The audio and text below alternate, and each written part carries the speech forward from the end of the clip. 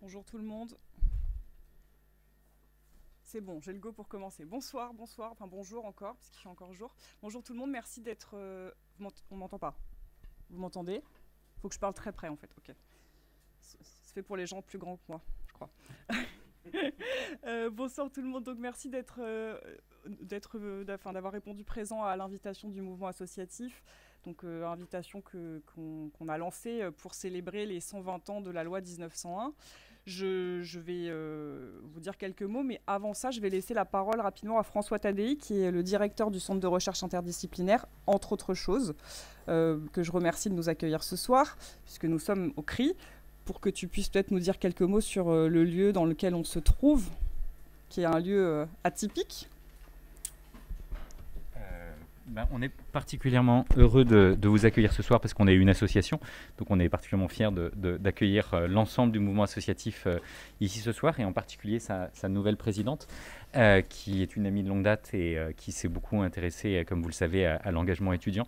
Et donc ici c'est à la fois une association et un lieu universitaire et donc on, on essaye de mêler ces deux mondes et on essaye de dire que les étudiants, eh bien, ils peuvent apprendre en s'engageant.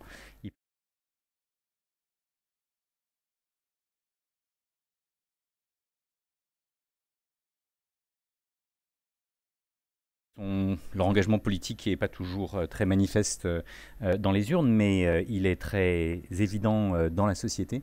Et donc, comment est-ce qu'on peut faire coévoluer les étudiants, la société et le monde associatif? C'est typiquement des, questions qu'on essaie de se poser.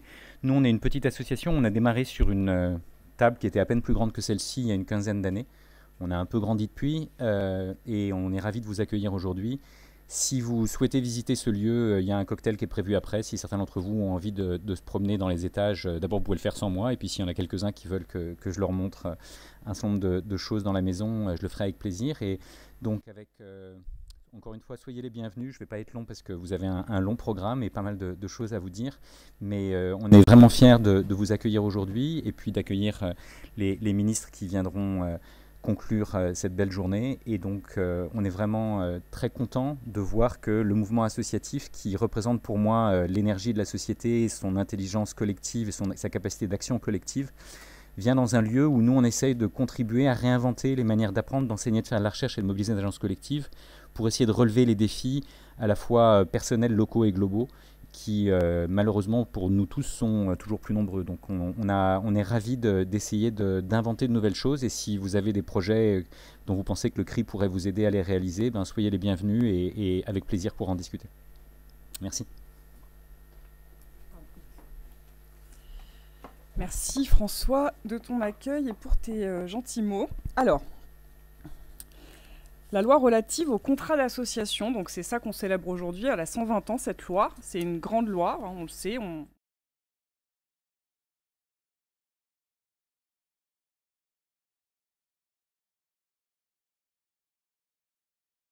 110 par exemple, nulle association de plus de 20 personnes ne peut se faire sans l'agrément du gouvernement, je cite.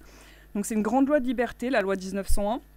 C'est une grande loi de liberté d'abord parce que les citoyens ils sont libres de se rassembler pour s'organiser en association. Ils ont le droit de le faire désormais, ils peuvent le faire, quelle que soit la raison, quel que soit le projet, quelle que soit l'envie, l'ambition. Les, citoyens, je vais baisser ça en fait, ce sera plus sympa pour moi.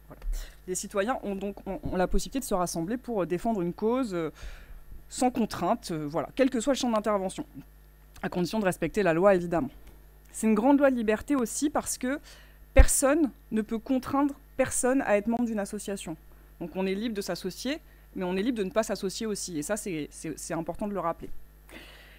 Plutôt que de revenir sur l'histoire de la loi, puisque nos intervenants et intervenantes, que je remercie hein, chaleureusement d'avoir accepté pour avoir accepté de, venir ce soir, le feront mieux que moi, je voulais revenir avec vous euh, sur le contexte dans lequel ces 120 ans euh, sont célébrés et euh, voilà, vous, vous exposez un peu les raisons pour lesquelles il nous a semblé important de proposer un événement comme celui-ci, un événement organisé par le monde associatif pour le monde associatif.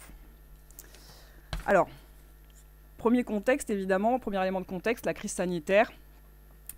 Une- la crise sanitaire, euh, ça va vous sembler évident, mais elle a quand même profondément ébranlé les associations pour ce qu'elles sont et pour ce qu'elles font aussi. Enfin, le fondement de l'association, c'est quand même le lien social. On a, traversé, euh, et on traverse encore, hein, on n'est pas encore totalement terminé, mais ça va un peu mieux, c'est ce qui nous permet de nous réunir ce soir. On a traversé quand même des semaines, pour ne pas dire des mois, euh, très difficiles, où il a été difficile, voire impossible de se réunir. Les associations, certaines ont été en première ligne, ont euh, dû faire face à des urgences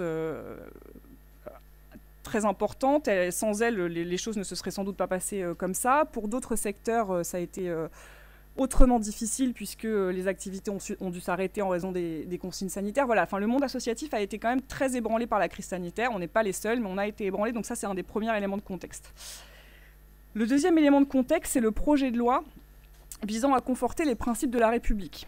Alors, c'est un projet de loi dont on a beaucoup parlé. On a écrit une tribune d'ailleurs qui est paru hier pour euh, rappeler qu'il nous posait un certain nombre de problèmes. Hein, euh, voilà, euh, vous êtes un certain nombre ici à l'avoir signé. Projet de loi du coup qui rentre en deuxième lecture, à la, fin, qui est en deuxième lecture à l'Assemblée nationale cette semaine, qui nous inquiète pour plein de raisons, notamment parce qu'il crée quand même un climat de défiance. En tout cas, on le perçoit comme ça. Je, parle sous le contrôle des, enfin, je parle sous le regard plutôt que sous le contrôle des cabinets membres du cabinet de, Sarah El Haïry il nous inquiète parce que, voilà, ça, pour nous, ça atteste d'un climat de défiance à l'encontre des associations, mais aussi parce que, et c'est surtout ça euh, qu'il faut qu'on porte ce soir, pardon, parce que demander aux associations de ne pas porter atteinte à l'ordre public, de ne pas se soustraire à une loi d'une quelconque manière que ce soit, sous menace de perdre son agrément, de perdre sa subvention, voire d'être dissoute, ça montre à quel point je trouve le monde associatif et l'initiative associative surtout sont parfois mal compris. Alors je ne dis pas qu'il ne faut pas respecter la loi, c'est pas ce que je vous dis ce soir. En revanche, faire comme si, à travers l'histoire, les associations n'avaient pas contribué à faire évoluer la loi, à faire évoluer les principes et les règles, en allant, c'est vrai, parfois à rebours de l'ordre public, c'est nier, je trouve, la place décisive des associations dans la construction de la République. Alors, je sais qu'on y reviendra euh, euh, dans le cadre de la première table ronde, à travers plusieurs exemples celui du droit des femmes notamment. Notre crainte, donc c'est ça qu'on veut réaffirmer ce soir collectivement, et c'est ce qu'on a redit dans la tribune, c'est les conséquences sur l'initiative associative. Je vais vous donner des exemples très concrets. Si dans les années 90, Unicité, association Unicité, n'avait pas expérimenté un service civil volontaire, et fait le choix à l'époque d'indemniser des jeunes pour qu'ils donnaient de leur temps pour s'engager, alors que la loi ne le permettait pas, parce que ça n'existait pas, hein. on était soit bénévole, soit salarié, donc ils l'ont fait, une cité l'a fait, on ne respectait pas la loi. Aujourd'hui, ça a donné quoi? Ça a donné le service civique. Le service civique, c'est plusieurs, dizaines de milliers de jeunes qui s'engagent chaque année, c'est une politique publique transpartisane qui a fait ses preuves et que personne ne, ne compte remettre en question aujourd'hui. Si ACT UP, autre exemple, n'avait pas alerté grâce à des actions provoques, choquantes parfois à propos du sida, si ACT n'avait pas transformé l'obélisque Place de la Concorde en préservatif géant en 1993, est-ce qu'on aurait été aussi sensibilisé aussi vite aux questions du sida? Je ne sais pas, mais on peut se poser la question. En faisant ça, c'est une atteinte à l'ordre public, puisqu'on n'a pas le droit, de, normalement, de, porter atteinte au, au lieu public de ce type. Si l'abbé Pierre n'avait pas occupé illégalement des logements, parfois, pour aider les plus défavorisés, est-ce que la problématique du mal logement, du droit au logement, aurait été euh, portée dans l'espace public aussi rapidement? Donc, je ne sais pas, je, en fait, je ne vais pas réécrire l'histoire avec vous, mais à travers ces exemples, et il y en a plein d'autres, je voulais euh, quand même qu'on se rappelle ensemble que les associations avaient fait grandement pour évoluer, pour faire évoluer pardon, les principes, les valeurs, mais aussi les lois de la République. Ça, c'est le deuxième contexte, deuxième élément de contexte. Le troisième élément de contexte, c'est le contexte démocratique. Alors, je ne vais pas me lancer dans une analyse du taux d'abstention aux élections régionales. Ce n'est pas mon travail, mais par contre, je pense qu'il doit nous préoccuper. Que ce taux, il marque une indifférence vis-à-vis des institutions, ou au contraire qu'il atteste d'une défiance à leur encontre, on ne peut pas faire comme si une démocratie sans électeurs n'était pas un problème. La crise de la représentation que l'on connaît, enfin que notre démocratie connaît, elle ne date pas d'hier, mais en tant que société civile organisée, en tant que corps intermédiaire, elle ne peut pas nous laisser indifférents. Quel projet de société voulons-nous porter collectivement pour reconstruire le lien social, reconstruire le contrat social? Comment parviendra-t-on à réenchanter le collectif, à réenchanter l'agir ensemble? Et surtout, comment s'incarne la citoyenneté en France aujourd'hui, où sont les espaces d'expression de cette citoyenneté?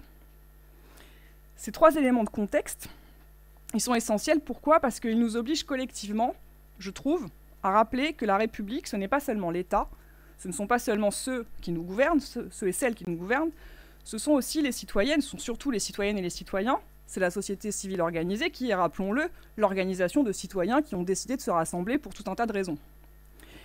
Et c'est cette capacité à nous organiser nous-mêmes, qui nous est offerte par la loi 1901, qui est le propre de la société civile organisée, identifier des problématiques, des enjeux, nous, organiser par nous-mêmes pour y répondre. Ces réponses, je l'ai dit, elles se font parfois à rebours de l'institution, en résistance à certains principes ou certaines lois, pas par volonté de lutter contre les principes de la République, mais au contraire pour les faire évoluer, pour corriger certaines inégalités, pour alerter sur certains sujets, pour faire bouger la société face à des urgences aussi. Et ça, pour moi, c'est intimement notre rôle. C'est notre rôle, c'est parfois difficile, c'est souvent difficile. C'est notre rôle d'être en mouvement permanent pour saisir les enjeux, pour offrir des espaces d'engagement au plus grand nombre, pour interroger, pour interpeller, pour identifier des problèmes, expérimenter des réponses, pour le faire collectivement, sans ne jamais laisser personne sur le bord de la route, pour faire vivre, nous aussi, la République, et parce que nous sommes des espaces clés d'expression et d'expérience de la citoyenneté.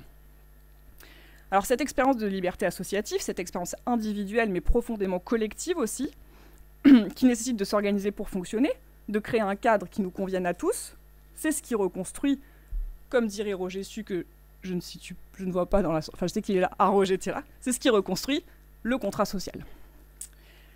Donc en organisant cet événement à l'occasion des 120 ans, des 120 ans de cette belle et grande loi de liberté, c'est ce qu'on a voulu rappeler. Les libertés associatives, elles sont fondamentales. Le droit d'association, il est indispensable. Il y a 120 ans, dans un contexte particulièrement tendu, nous sommes parvenus à élaborer un texte qui est aujourd'hui encore parfaitement adapté à l'image des, des libertés qu'il nous offre, souple, agile, large. Grâce à cette loi, les associations, depuis 120 ans, elles agissent pour animer les territoires, pour humaniser l'économie, pour renforcer le lien social, pour porter des projets, défendre des causes. Elles contribuent souvent discrètement à faire évoluer les principes et les valeurs de la République, mais parce qu'elles sont l'émanation directe des citoyens, elles permettent, dans un sens, de porter des évolutions et dans l'autre, de les accompagner. Depuis 120 ans, le modèle associatif il a démontré son efficacité, il a démontré son rôle social, central, essentiel dans la construction d'une République apaisée. Alors je remercie, je vais arrêter de parler parce que j'ai assez parlé, mais je remercie euh, très très très chaleureusement nos intervenants, nos intervenantes qui ont accepté de partager leur expérience et leur regard sur les libertés associatives avec nous ce soir, à travers l'histoire, pour la première table ronde, à travers le monde aussi, pour la deuxième table ronde à venir. Et sans plus tarder, je laisse la parole à Olivier Zanetta, que je remercie lui aussi d'avoir accepté d'animer ces échanges. Merci.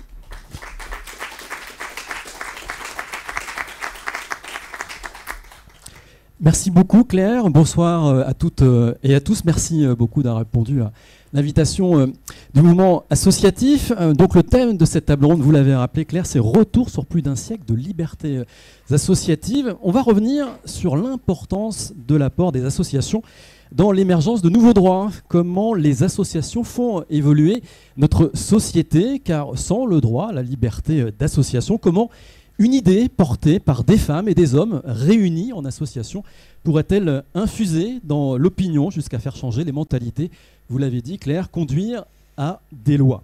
Je vous présente nos intervenantes et intervenants. Merci beaucoup d'avoir accepté euh, l'invitation du mouvement associatif. Véronique Seyé, bonsoir. Bonsoir. Ancienne coprésidente du planning familial.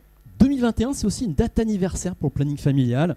Le 13 juin 1961, voici 60 ans ouvrait à Grenoble le premier centre du planning. À l'époque, on distribuait, vous allez nous le dire, dans l'illégalité des moyens de contraception.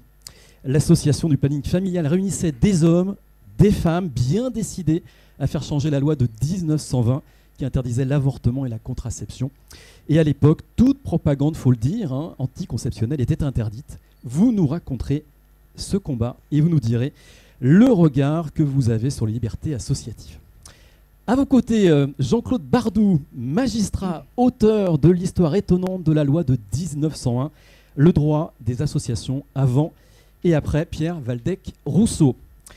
Alors on est très content de vous avoir. Je précise que vous n'êtes pas là en tant que magistrat, hein, mais comme auteur et spécialiste du droit des associations. C'est important de le dire. Vous nous raconterez euh, le combat qui a été euh, mené pour la liberté associative. On l'oublie.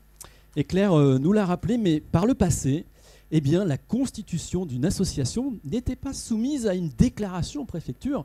Il fallait lever le petit doigt et souvent on vous tapait sur le doigt. Voilà, il fallait une autorisation. Alors ce combat que vous allez nous conter est celui euh, d'un homme, Valdec Rousseau, qui en 1899, alors président du Conseil, ministre de l'Intérieur et des Cultes, dépose le projet de loi qui aboutira à la loi du 1er juillet 1901. Et pour lui, vous nous le direz, la liberté d'association est un principe supérieur. Julien Talpin est avec nous. Bonsoir. Sociologue, animateur du comité scientifique de l'Observatoire des libertés associatives l'Observatoire qui a produit un rapport en octobre 2020 sur les entraves aux libertés associatives. Ce travail a été mené sous euh, la direction d'un conseil scientifique que vous avez animé et qui réunissait 13 euh, chercheurs en sciences sociales, spécialistes des questions de participation, euh, d'engagement associatif, des chercheurs notamment au CNRS, à Sciences Po, des universités de Lille, Lyon 2 ou encore Paris 8. L'Observatoire des libertés qui est un projet porté par la coalition pour les libertés associatives et qui rassemble donc des associations, des fédérations d'associations.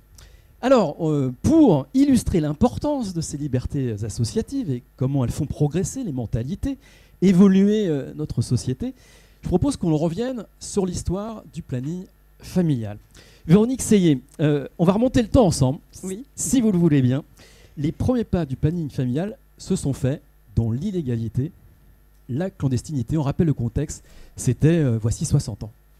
Euh, oui, même 65 ans, la création de Maternité Heureuse, puisque c'était en 56, un moment où, comme vous le disiez, avortement, contraception était complètement interdit, mais à un moment aussi où des femmes mouraient tous les jours d'avortement clandestin ou se retrouvaient mutilées parce qu'elles n'avaient pas pu accéder à un avortement dans de bonnes conditions. Donc un médecin qui était Marie-André Lagroaveil à ce moment-là a dit mais c'est plus possible de continuer ces avortements clandestins. Catherine Valabrègue aussi et Evelyne Sulro se sont mises ensemble pour dire comment est-ce qu'on peut travailler autrement pour mettre fin à ces avortements clandestins et puis euh, aussi prendre en compte en tant que médecin cette détresse des couples qui disaient mais comment est-ce qu'on peut avoir une vie sexuelle épanouie dans un contexte où l'avortement est interdit et où la contraception est interdite. Donc on avait des femmes qui vivaient avec la peur au ventre. il y a toujours aujourd'hui dans le monde des femmes qui vivent avec la peur au ventre et des couples qui avaient une vie complètement déséquilibrée parce qu'effectivement avoir des rapports sexuels était très risqué et menait à des grossesses. Donc on s'est dit comment est-ce qu'on peut mettre fin à ça? Et donc se sont réunies ces personnes qui sont allées voir à l'étranger, parce qu'il faut savoir que dans d'autres pays cette contraception était autorisée, qui se sont organisées en association, qui sont allées voir ailleurs et puis cette association a permis effectivement de voir que dans des pays, on pouvait se procurer des contraceptifs. Et euh, donc les personnes se sont dit, on va arrêter de discuter sur le sujet, il faut qu'on mette en place des centres. Et c'est comme ça qu'en 1961 a été créé le premier centre à Grenoble, où les personnes adhéraient, puisque bien sûr tous faisaient dans la clandestinité, mais la liberté d'association fait qu'entre eux, les adhérents pouvaient décider de recourir à des contraceptifs à partir du moment où effectivement ils avaient pris leur adhésion au planning familial. Des moyens de contraception qui étaient acheminés depuis l'étranger, notamment depuis l'Angleterre Depuis l'Angleterre et depuis la Suisse. Alors depuis l'Angleterre, il y a des femmes du planning familial qui mettaient des diaphragmes, des contraceptifs dans leur manteau, dans leur valise, et puis qui en importaient aussi de Suisse. Et c'est comme ça aussi qu'on s'est mis à fabriquer de l'alpagel Hein, qui est une crème spermicide, qui a été qu'on appelait aussi la pommade des chartreux parce que c'était effectivement dans la chartreuse. Mais ça a permis effectivement à des couples qui venaient au planning familial et qui étaient adhérents de pouvoir accéder à des moyens de contraception de leur choix. Et puis, euh, ça a été compliqué parce qu'au début, euh, illégal, pas illégal, est-ce qu'on continue à faire ça? Donc euh, des membres de l'association disaient mais on ne peut pas faire ça, c'est-à-dire que par exemple à Paris, ils n'étaient pas très chauds quand ils ont vu qu'effectivement le centre de Grenoble et les Pierre Fabre notamment et d'autres avaient décidé d'ouvrir un centre, ils se sont dit mais c'est pas possible. Sauf qu'en fait ils ont été rattrapés par le, succès. Ils ont été rattrapés par le succès parce que le nombre d'adhérents a vraiment cru énormément et que de, de l'ouverture du planning au mois de mai, on est arrivé à l'ouverture d'un centre à Paris en octobre et que le nombre d'adhérents a continué à croître. De, euh, on est passé en six mois de 800 adhérents et puis après euh, d'année en année en 67, avant la loi Neuwirth, on était à 95 000 adhérents du planning familial. Voilà, ce qu'il faut 42 raconter, centres. Ce qu'il faut raconter quand même, c'est vous, vous l'avez abordé, c'est la détresse de ces familles et comprendre quel public venait dans le centre de Grenoble. Vous avez des, lettres très émouvantes qui, nous racontent qu'il y avait des, des couples avant de partir en vacances qui faisaient un détour par Grenoble.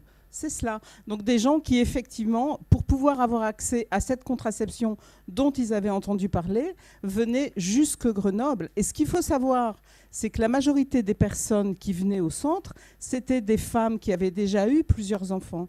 Hein, c'est-à-dire que ce n'étaient pas des petites personnes jeunes, comme on a tendance à dire aujourd'hui, qui venaient au planning, mais c'était vraiment des couples, des familles qui ne supportaient plus qu'on atteigne ainsi à leur liberté, qu'on porte atteinte à leur liberté et qui souhaitaient vraiment avoir le choix d'espacer les naissances, avoir la liberté de décider d'avoir des enfants ou de ne pas avoir d'enfants. Alors ça a été vrai pour la contraception et on a abouti en 1967 à la loi Neuwirth qui a mis quand même presque cinq ans à pouvoir être appliquée parce que les décrets d'application ont traîné. Et puis après, on a eu la même démarche par rapport à l'avortement. On a fêté récemment, enfin on a célébré récemment, ce n'était pas vraiment une fête, mais le manifeste des 343.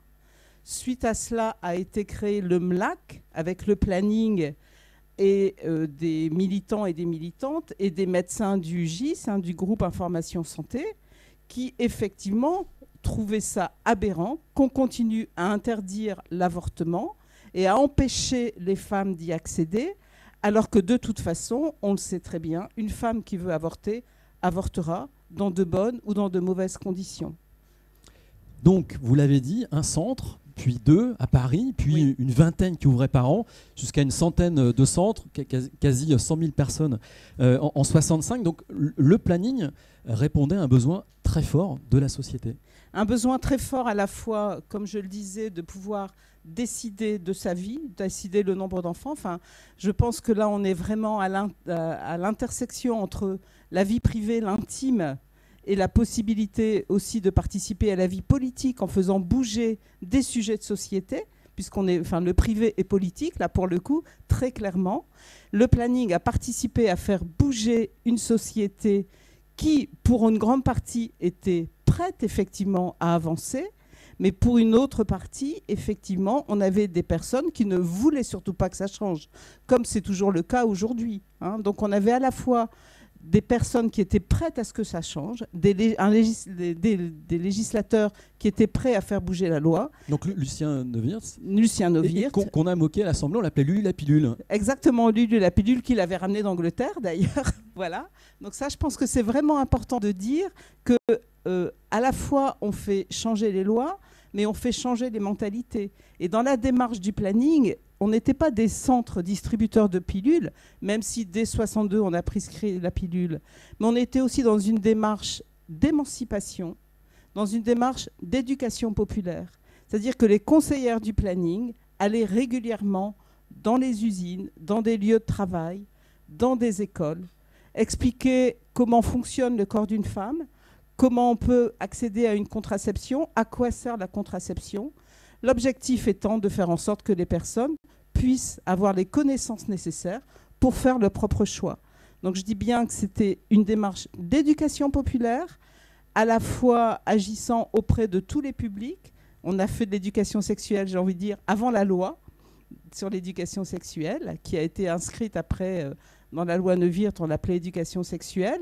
Et puis dans la loi de 2001, avec la loi Aubry, dans la loi inscrite à la fois contraception, avortement et éducation à la sexualité. Et on continue toujours à se battre aujourd'hui pour que ces lois soient appliquées. Mm. Parce qu'aujourd'hui, on se rend bien compte qu'il ne suffit pas d'avoir une loi, il faut se battre encore pour que les lois soient appliquées, pour que des moyens soient donnés, pour que les structures inscrites dans les lois fonctionnent de la même façon sur l'ensemble du territoire. Revenons maintenant sur le statut associatif. Oui. Ce choix, il a été extrêmement important. Quelque part, c'était un moyen de sécuriser euh, les adhérents, puisqu'ils étaient euh, dans la clandestinité la, la plus totale. Bien sûr, parce que quand on a fait venir des moyens de contraception qui étaient complètement illégaux, effectivement, ils étaient distribués à des personnes qui faisaient le choix, qui adhéraient, et donc qui, entre eux, avaient décidé que c'était leur choix de pouvoir accéder à cette contraception. Comme ça a été le choix après aux femmes de pouvoir accéder à l'avortement. Donc effectivement, c'était interdit en France, mais en même temps, des citoyens et des citoyennes choisissaient de pouvoir accéder à un droit qu'ils voulaient euh, vraiment de, universel pour tout le monde. quoi. Mhm. C'était ça l'objectif.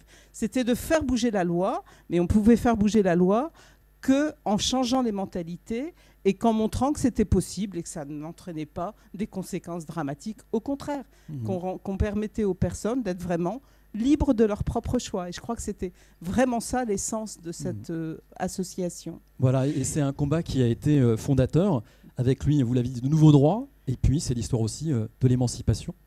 C'est une histoire d'émancipation collective, ça je pense que c'est important, dans une démarche d'éducation populaire qui est toujours la démarche du planning, et avec l'objectif de toujours faire progresser cette loi aujourd'hui. Et on voit combien aujourd'hui c'est important d'être toujours là en termes de vigie, j'ai envie de dire, parce que euh, bah, c'est très facile de revenir en arrière sur des lois. C'est très facile, par exemple, alors que la loi oblige qu'il y ait des centres d'avortement partout, que des médecins disent bah non, nous on n'a pas envie qu'il y en ait, et donc il faut se battre pour que la loi soit appliquée, pour que l'éducation à la sexualité pour tous les enfants qui sont à l'école soit appliquée alors qu'elle ne l'est pas et qu'il y a très peu de moyens.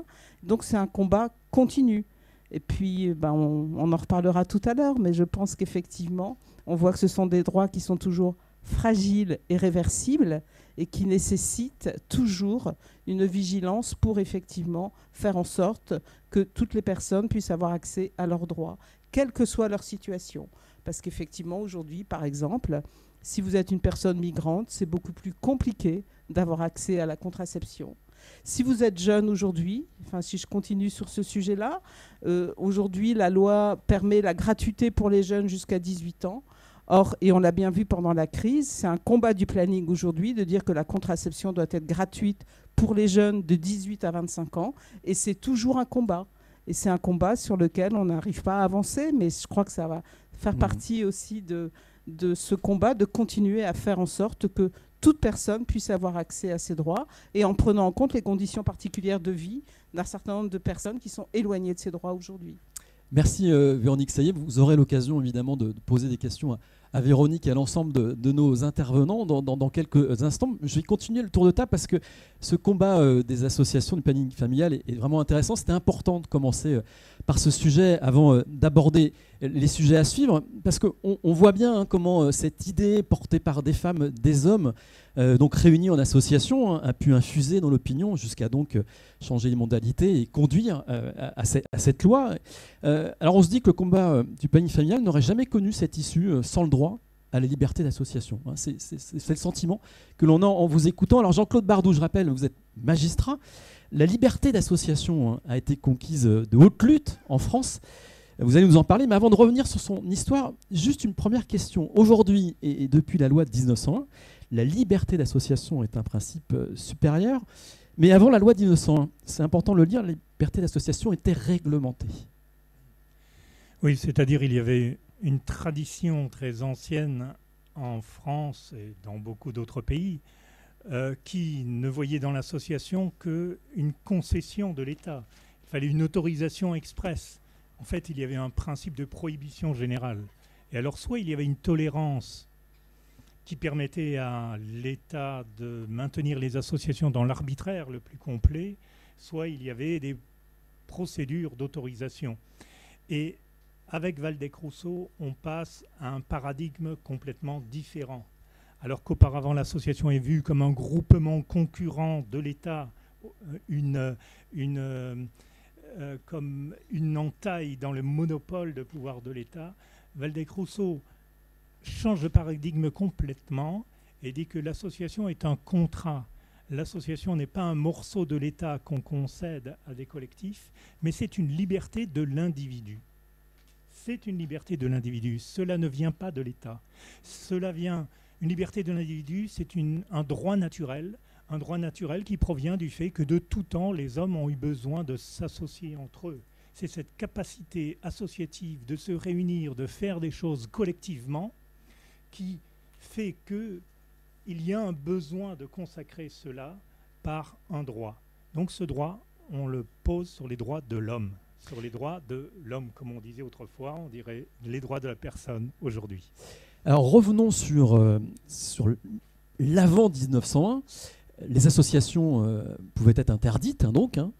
C'est quel type d'association qui n'avait pas le droit euh, au, au, chapitre? Elles pouvaient être durement réprimées? Oui, oui, alors, franchement, c'était toute une discussion lors de l'adoption euh, du code pénal napoléonien pour savoir est-ce qu'on interdisait seulement les associations politiques, syndicales, ouvrières, ou bien est-ce qu'on interdisait également les associations littéraires et de charité ou tout ça. Et euh, euh, la position du législateur napoléonien à l'époque était de dire toute association est interdite sauf sur autorisation expresse du gouvernement dans les formes et pour les motifs qu'il plaira au gouvernement d'édicter. On ne peut pas être plus clair. Donc cela dépend de l'arbitraire du pouvoir. Or là, euh, il faut parler de Rousseau. Jean-Jacques Rousseau avait dit il n'y a qu'une seule association légitime, c'est l'association générale des citoyens.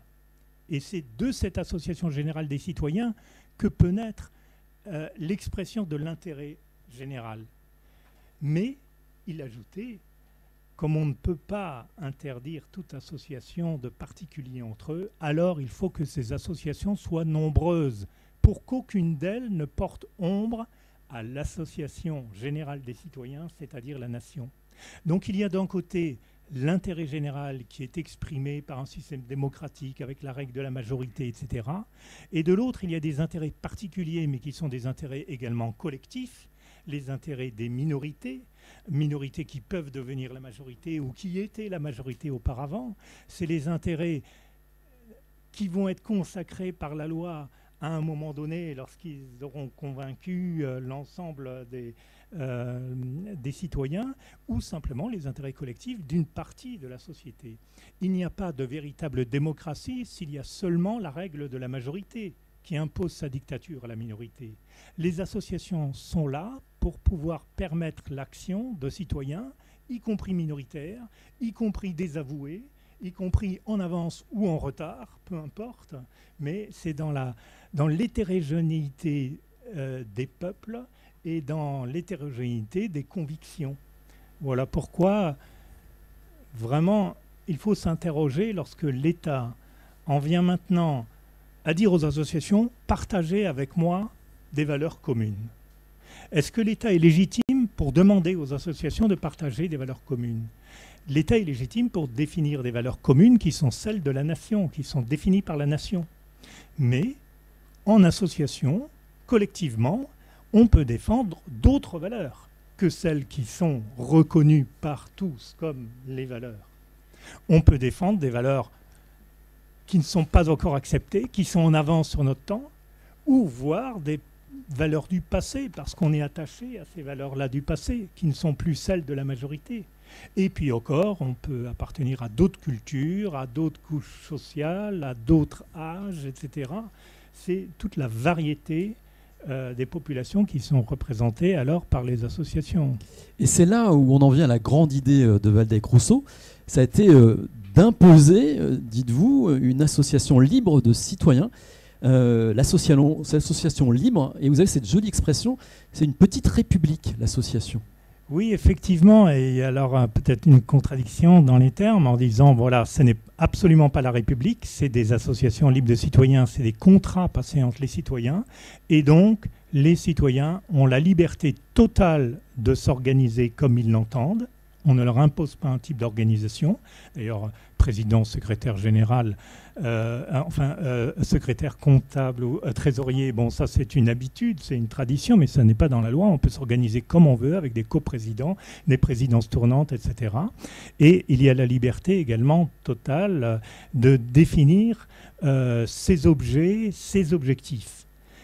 L'État n'intervient que s'il y a violation de la loi. Donc ce n'est pas a priori qu'on dit oui, ça vous pouvez le faire, ça vous ne pouvez pas le faire. L'association va agir comme n'importe quel citoyen, librement. Si le citoyen enfreint la loi, il doit y répondre devant les tribunaux. Il en sera de même pour l'association. L'association n'exonère jamais euh, de, du respect de la loi. Euh, ça peut même être une circonstance aggravante, alors ça serait une infraction commise en réunion.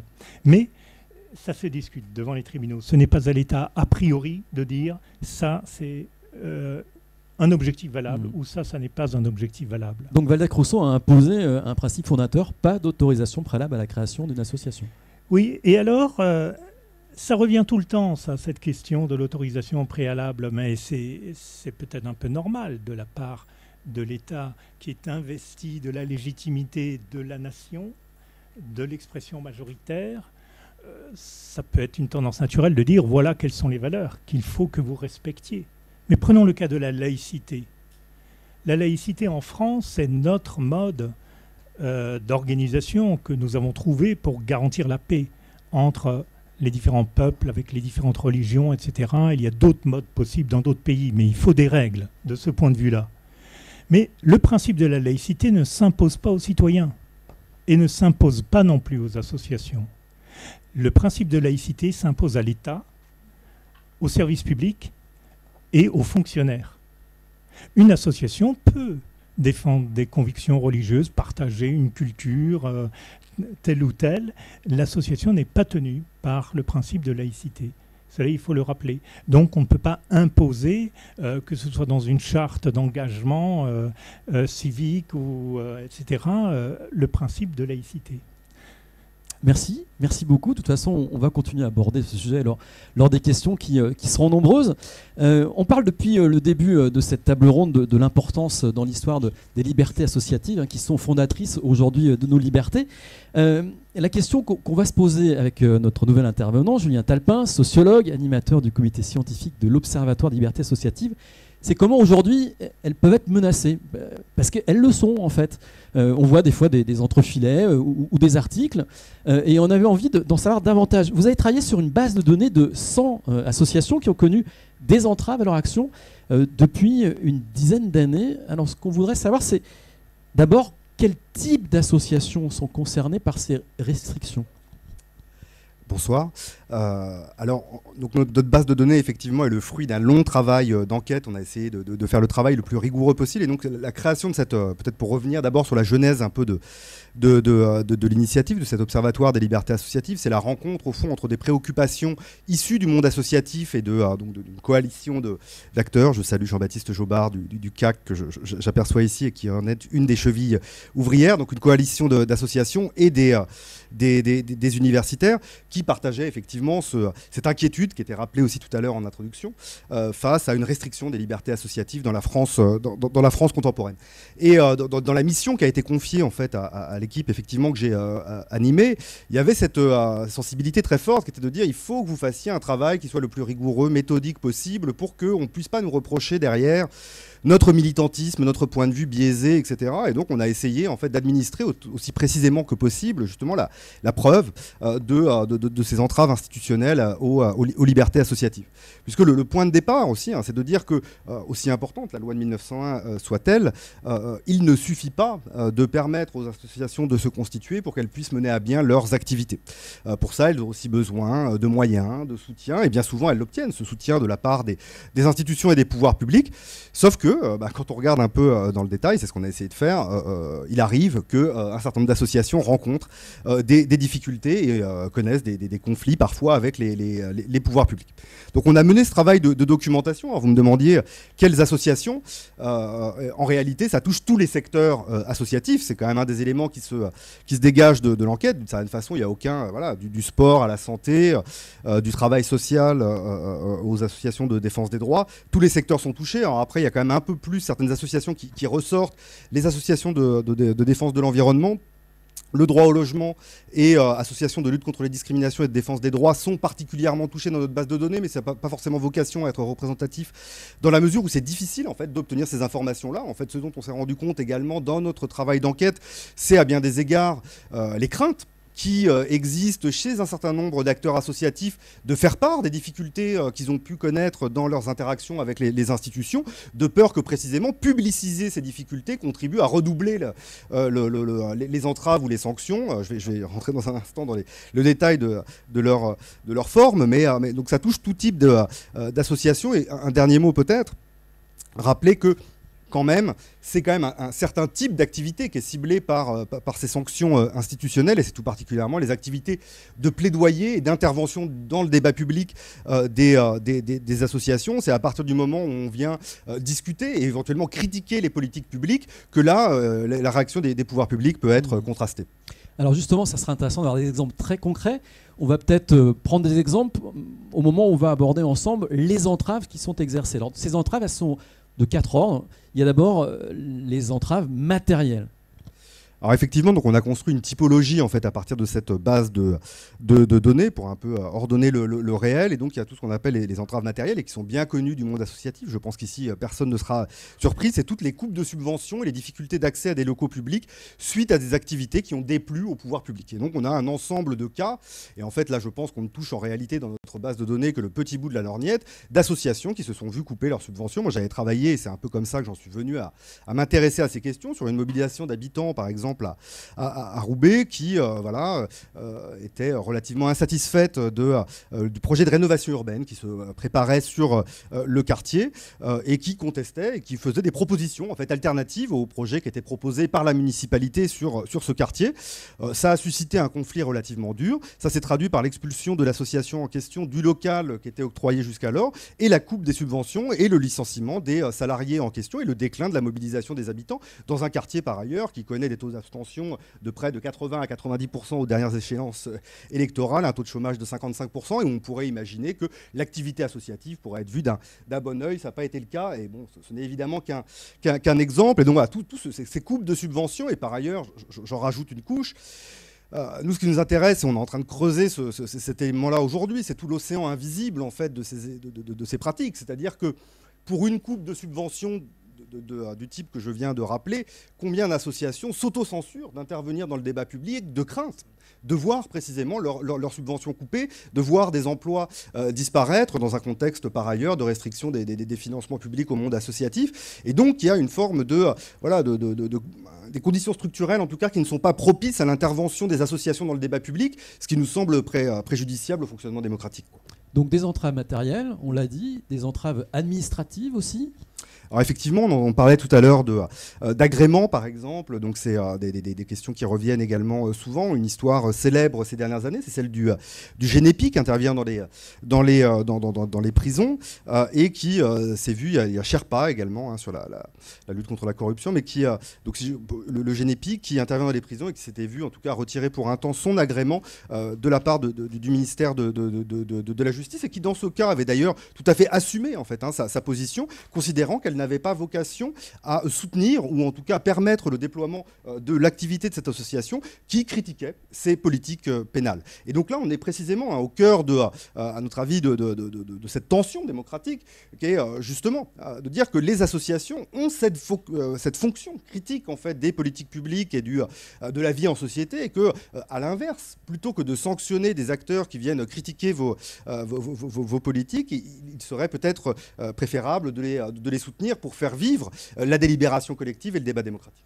Alors, troisième type d'entrave que vous qualifiez de discursive réputationnelle, là ça demande un petit peu d'explication. Vous entendez quoi par ces, par ces mots C'est qualificatif eh ben, c'est toutes les attaques ad hominem, souvent sur les personnes en réalité, euh, les, militants, les salariés, les bénévoles associatifs. On en parlait encore récemment, euh, juste avant cette, table ronde, et donc euh, des, militants associatifs qui viennent se faire attaquer par des élus locaux, par des, fonctionnaires territoriaux. Un, cas, par exemple, qu'on documente dans le, rapport, c'est le représentant local de la LDH à Cholet, je crois, qui contestait un arrêté de couvre-feu pendant le confinement et qui s'est vu attaqué par le maire, dénonçant ces pratiques totalitariste et euh, euh, tout à fait antidémocratique, etc.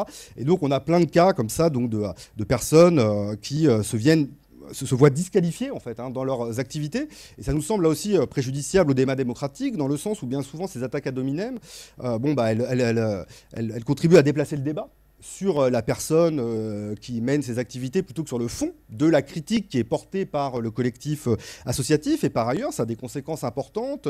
Ça vient marquer au fer rouge certaines associations qui sont qualifiées parfois de communautaristes, de séparatistes, etc. Et qui du, coup se voient souvent un peu bah, coupées de leur partenariat. Ça entraîne souvent des coupes de, subventions. Et donc cette construction réputationnelle de, voilà, de, l'identité des associations a souvent des conséquences assez importantes. Et donc on, on voulait documenter aussi cet aspect euh, qui est, souvent un peu invisibilisé, mais qui sert au fond à légitimer, souvent les, sanctions institutionnelles qu'on montre par ailleurs. Oui, la dernière famille euh, d'entraves que vous avez identifiée, ce sont euh, les entraves judiciaires, donc les actions en justice. Alors effectivement, il y a euh, parfois euh, des plaintes pour diffamation qui émanent euh, par exemple de la part d'institutions à l'encontre de certaines associations. Il y a également l'usage d'amendes ou de procès-verbaux à l'encontre de militants associatifs. On, prend l'exemple dans le rapport par exemple de, l'association Utopia 56 qui vient en soutien aux migrants dans le nord de, de, la France et qui par exemple dans la période du confinement, en quelques semaines en fait, a reçu 18 amendes pour des raisons tout à fait futiles, en fait pour des problèmes de station des problèmes de, euh, de feu, d'éclairage sur les voitures, des bénévoles associatifs qui faisaient leurs activités à ce moment-là. Et bon, bah, quand on multiplie 18 amendes, 235 euros à chaque fois, pour des associations qui ont des moyens relativement limités, à un moment, ça augmente très concrètement le coût de, euh, le coût, le coût de l'engagement. Donc c'est un exemple qui pourrait paraître anecdotique, mais on a, pas mal de cas de cet ordre-là, euh, où on a un usage judiciaire, au fond, pour restreindre là aussi les libertés associatives. Donc on a le sentiment, euh, à, vous entendre, que ces, euh, restrictions, euh, elles s'exercent d'abord au niveau local. C'est à quel échelon? C'est plutôt au niveau local? Partout.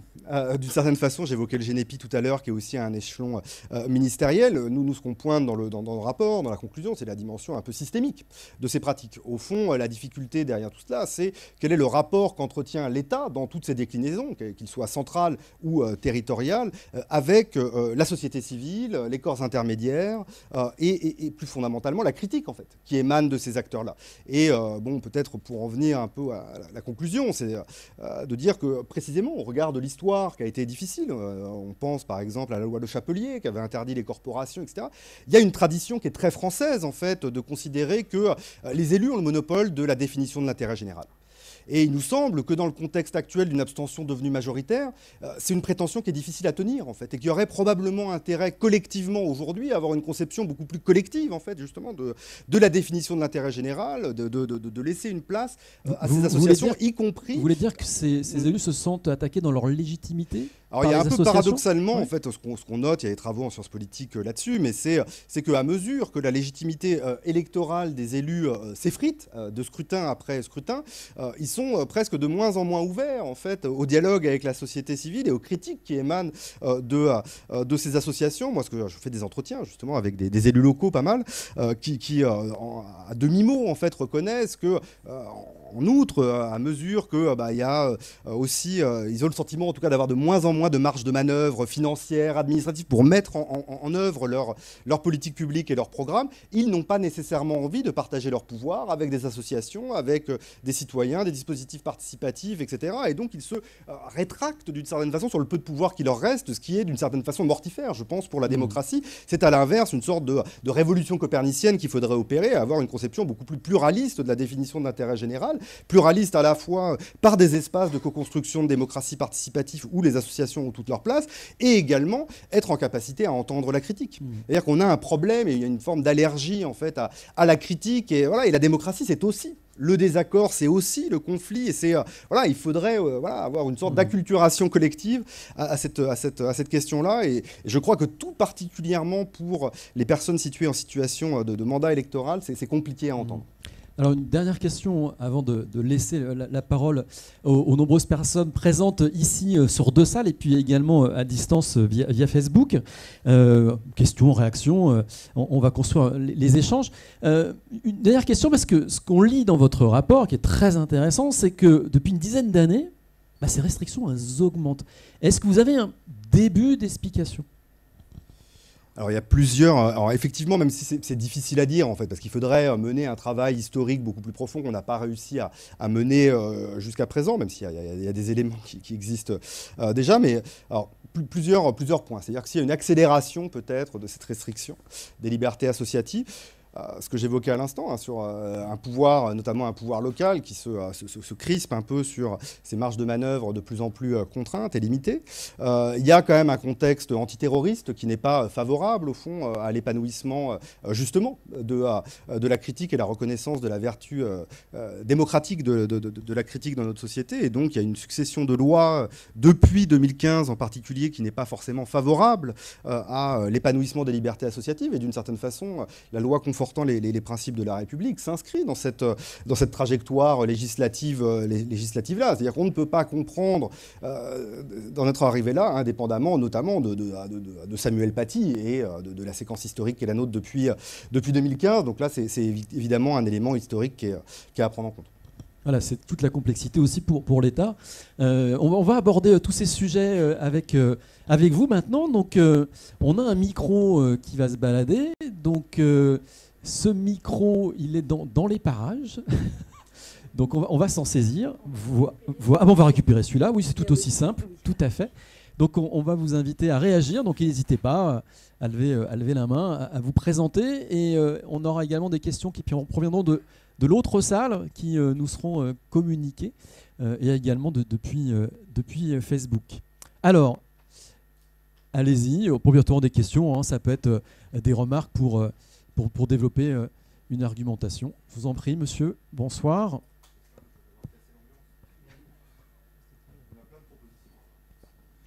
Bonsoir, Stéphane Gros-Claude, plateforme interrégionale.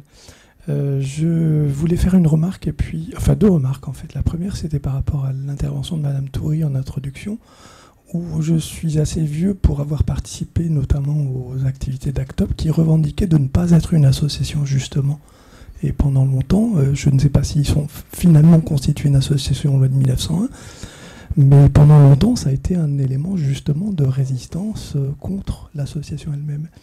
Euh, par ailleurs, je fais partie d'un collectif qui s'est constitué depuis quelques mois pour la reprise des pratiques en amateur, qui pendant la, crise Covid a été particulièrement absente et abandonnée des politiques publiques. Euh, et nous souhaitons, euh, nous avons entamé euh, plusieurs démarches, notamment vis-à-vis des associations et fédérations d'élus, précisément non pas pour un plan de relance, mais pour un plan de reprise des pratiques, puisque les décrets, pendant plus d'un an, ont pris en compte les lieux, mais pas la nature des pratiques. Et à ce titre-là, on a posé plusieurs propositions, je dis ça par rapport aux, espaces de concertation que vous évoquiez, monsieur, pour que aussi à l'intérieur même des, espaces qui existent aujourd'hui, que ce soit euh, le Conseil des collectivités pour la culture au niveau national ou local, les COREPS, euh, les comités d'experts en DRAC pour ce qui concerne la culture, il puisse y avoir des représentants d'associations dans la mesure où finalement, même si on parle des COREPS, il s'agit de, de pratiques professionnelles, d'instances professionnelles, mais in fine, c'est notamment aussi pour l'encadrement des pratiques en amateur et que du coup ça concerne les bénéficiaires, les usagers. Et donc nous militons aussi pour que, euh, y compris dans les instances publiques qui existent aujourd'hui, il puisse y avoir des représentants associatifs. qui appelle pas euh, obligatoirement euh, une réponse. Si, monsieur, monsieur Bardou, je vous en prie, Jean-Claude, prenez le micro. Juste un petit point sur, sur ACT UP et le fait de ne pas se constituer en association. Je rappelle que lors de l'adoption de la loi de 1901, Groussier, qui était un député anarcho-syndicaliste, s'est battu pour que l'association non déclarée soit valable. Et ça, c'est dans la loi de 1901. Donc, on a le droit d'agir collectivement, de se réunir, de former une association de fait, sans donner le nom de l'association, son objet, le nom des administrateurs à l'administration. Et Groussier s'était battu pour ça parce qu'il disait Je veux bien vous croire, vous, gouvernement républicain, euh, sur vos bonnes intentions, mais on ne sait pas ce qu'il en sera plus tard. Qui sera au pouvoir après? Et nous ne voulons pas que les ouvriers qui formeront nos associations euh, soient dénoncés au pouvoir public, etc. Donc voilà, je voulais rappeler ce point-là, très important. La liberté d'association, ça va jusqu'à ce point-là. Je viens de vérifier, ils sont constitués en association le 9 juin 1989. Merci pour cette précision. Alors, je regarde dans, la salle, le micro est, à ma gauche.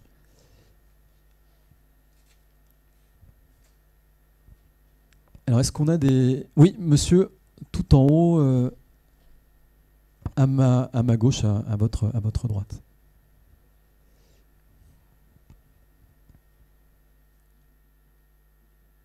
Bonjour, Philippe Richman. J'interviendrai tout à l'heure dans la seconde table ronde, mais je voulais juste par rapport à ce que vous disiez, notamment pour l'Observatoire de la vie associative, dire qu'il y a aussi des, éléments qu'on ne voit pas. Moi, je le vois, aussi euh, dans, dans, ma pratique euh, professionnelle, des choses que les bureaux des associations et des préfectures s'autorisent et qui jusque-là ne s'autorisaient pas. Je donne juste un exemple. Je ne peux pas, je peux pas citer le nom évidemment d'association, mais une association qui récemment a déposé euh, ses statuts modifiés, qui n'est pas reconnu d'utilité publique, donc qui n'a juste qu'à déposer normalement.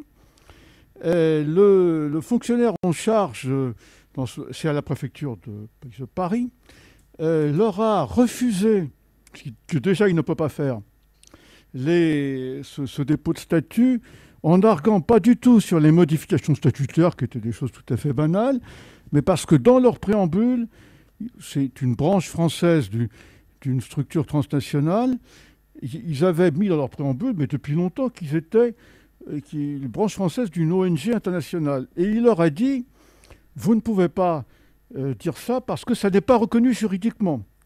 Et donc, euh, ils leur ont demandé, ils leur ont demandé la modification des statuts.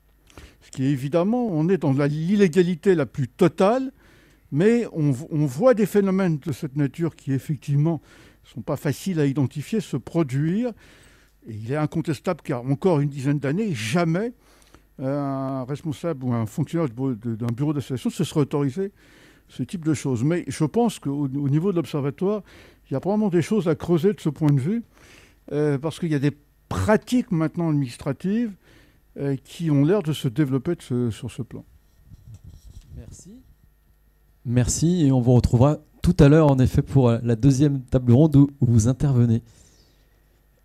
Vous voulez réagir on, on, prend d'autres d'autres réactions dans la salle et, à distance? Je ne sais pas s'il euh, y, a des réactions également euh, à distance qui vont nous être communiquées.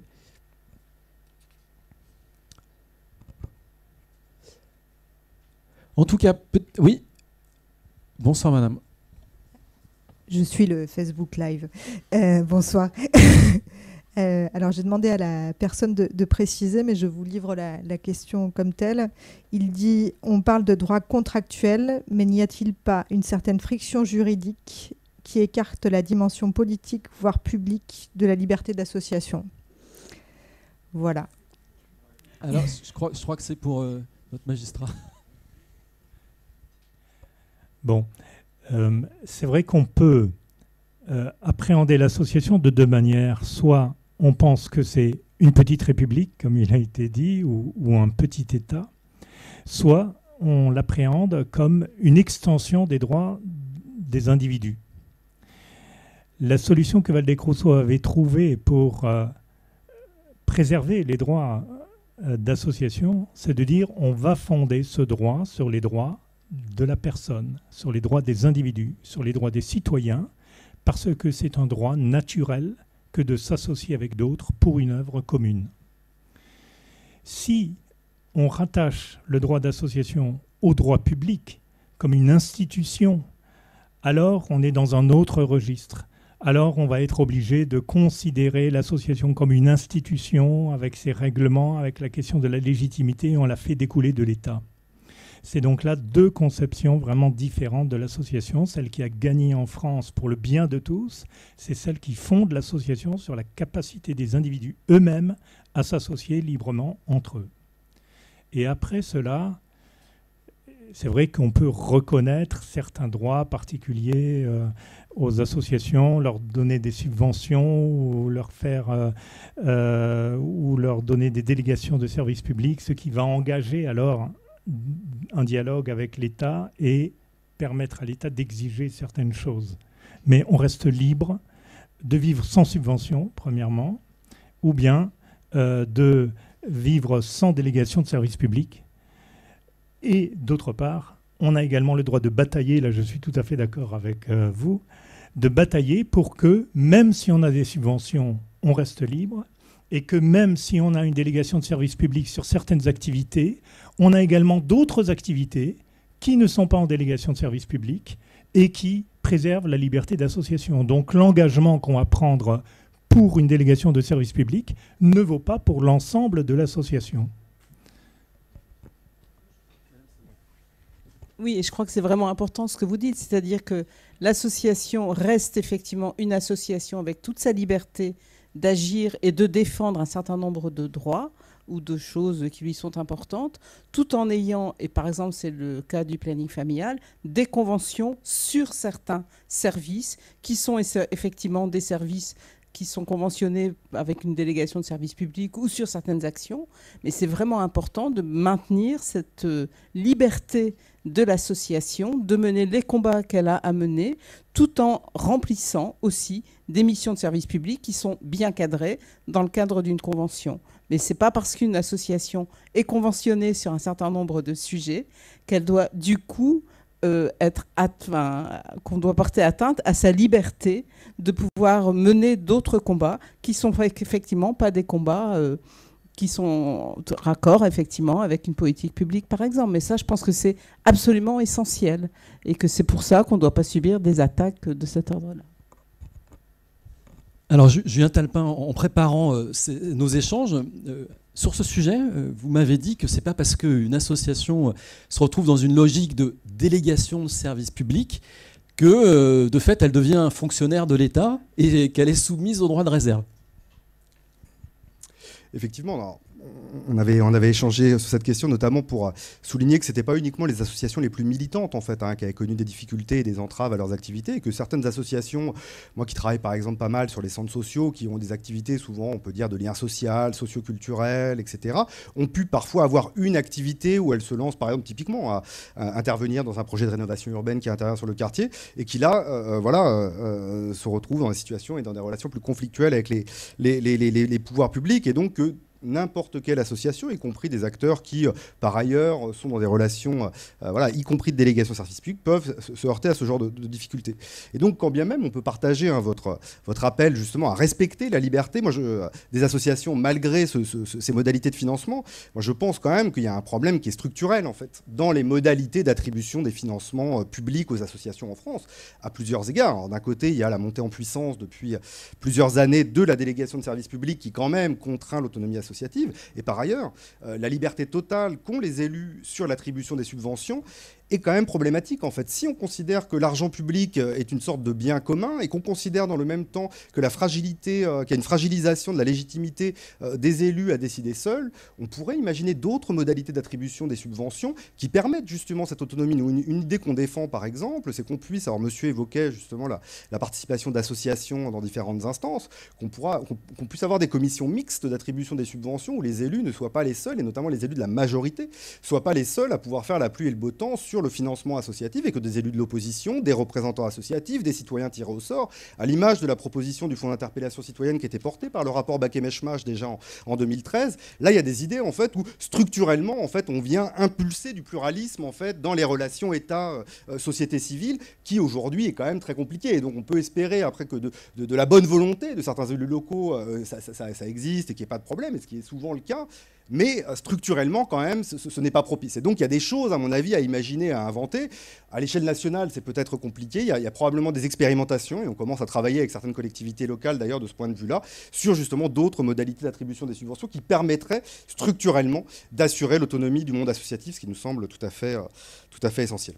Qu'en fait, un, dernier point, parce qu'on parlait des, élus la, euh, voilà, moi je pense qu'il y a un enjeu en fait de, formation aussi des élus sur ces questions-là. Moi, dans le dialogue que j'ai avec les, élus souvent locaux, en fait, souvent ils ont quand même une, relation qui est un peu, alors je suis un peu dur là, mais un peu binaire. C'est-à-dire, c'est soit on, soutient les amis euh, ou on va fragiliser les opposants précisément, moi je pense que d'un point de vue démocratique, il faut soutenir ces opposants, en fait, quels qu'ils soient, à partir du moment où les positions qu'ils portent restent dans le domaine euh, des, euh, des, droits de l'homme et des droits fondamentaux, en fait, il est essentiel en fait que les opposants puissent faire valoir leur position, leurs critiques, etc. dans le débat public, même si ça nous embête en fait. Et que la démocratie c'est ça, et qu'en fait on est en train de crever aujourd'hui précisément de la restriction de l'espace public, de la délibération collective, parce que les opposants, bah, euh, souvent on leur tape dessus plutôt que de leur permettre de s'organiser, euh, de s'organiser collectivement. Et ça, effectivement, c'est quand on discute par exemple avec des gens qui viennent de remporter une élection, leur priorité c'est plutôt d'appliquer leur programme, ce qui est tout à fait légitime en fait. Hein, d'un point, de vue, euh, point de vue démocratique. Et donc toute la question derrière, c'est compliqué, c'est comment on fait d'un côté pour appliquer son programme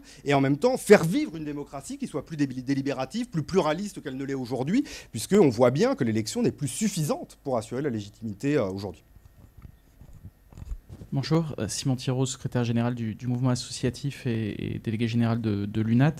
Deux, remarques. La première sur la distinction entre secteur public et secteur privé elle est intéressante parce que très souvent, quand on dit qu'on agit dans le champ des associations, dans le secteur associatif, on nous dit ah ben vous êtes euh, du secteur public. en fait, pas du tout. Il faut revendiquer d'être des acteurs du secteur privé euh, et qui agissons euh, non pas comme extension de l'action publique, gouvernementale ou des politiques strictement, strictement publiques. Ça, c'est le, le, premier point.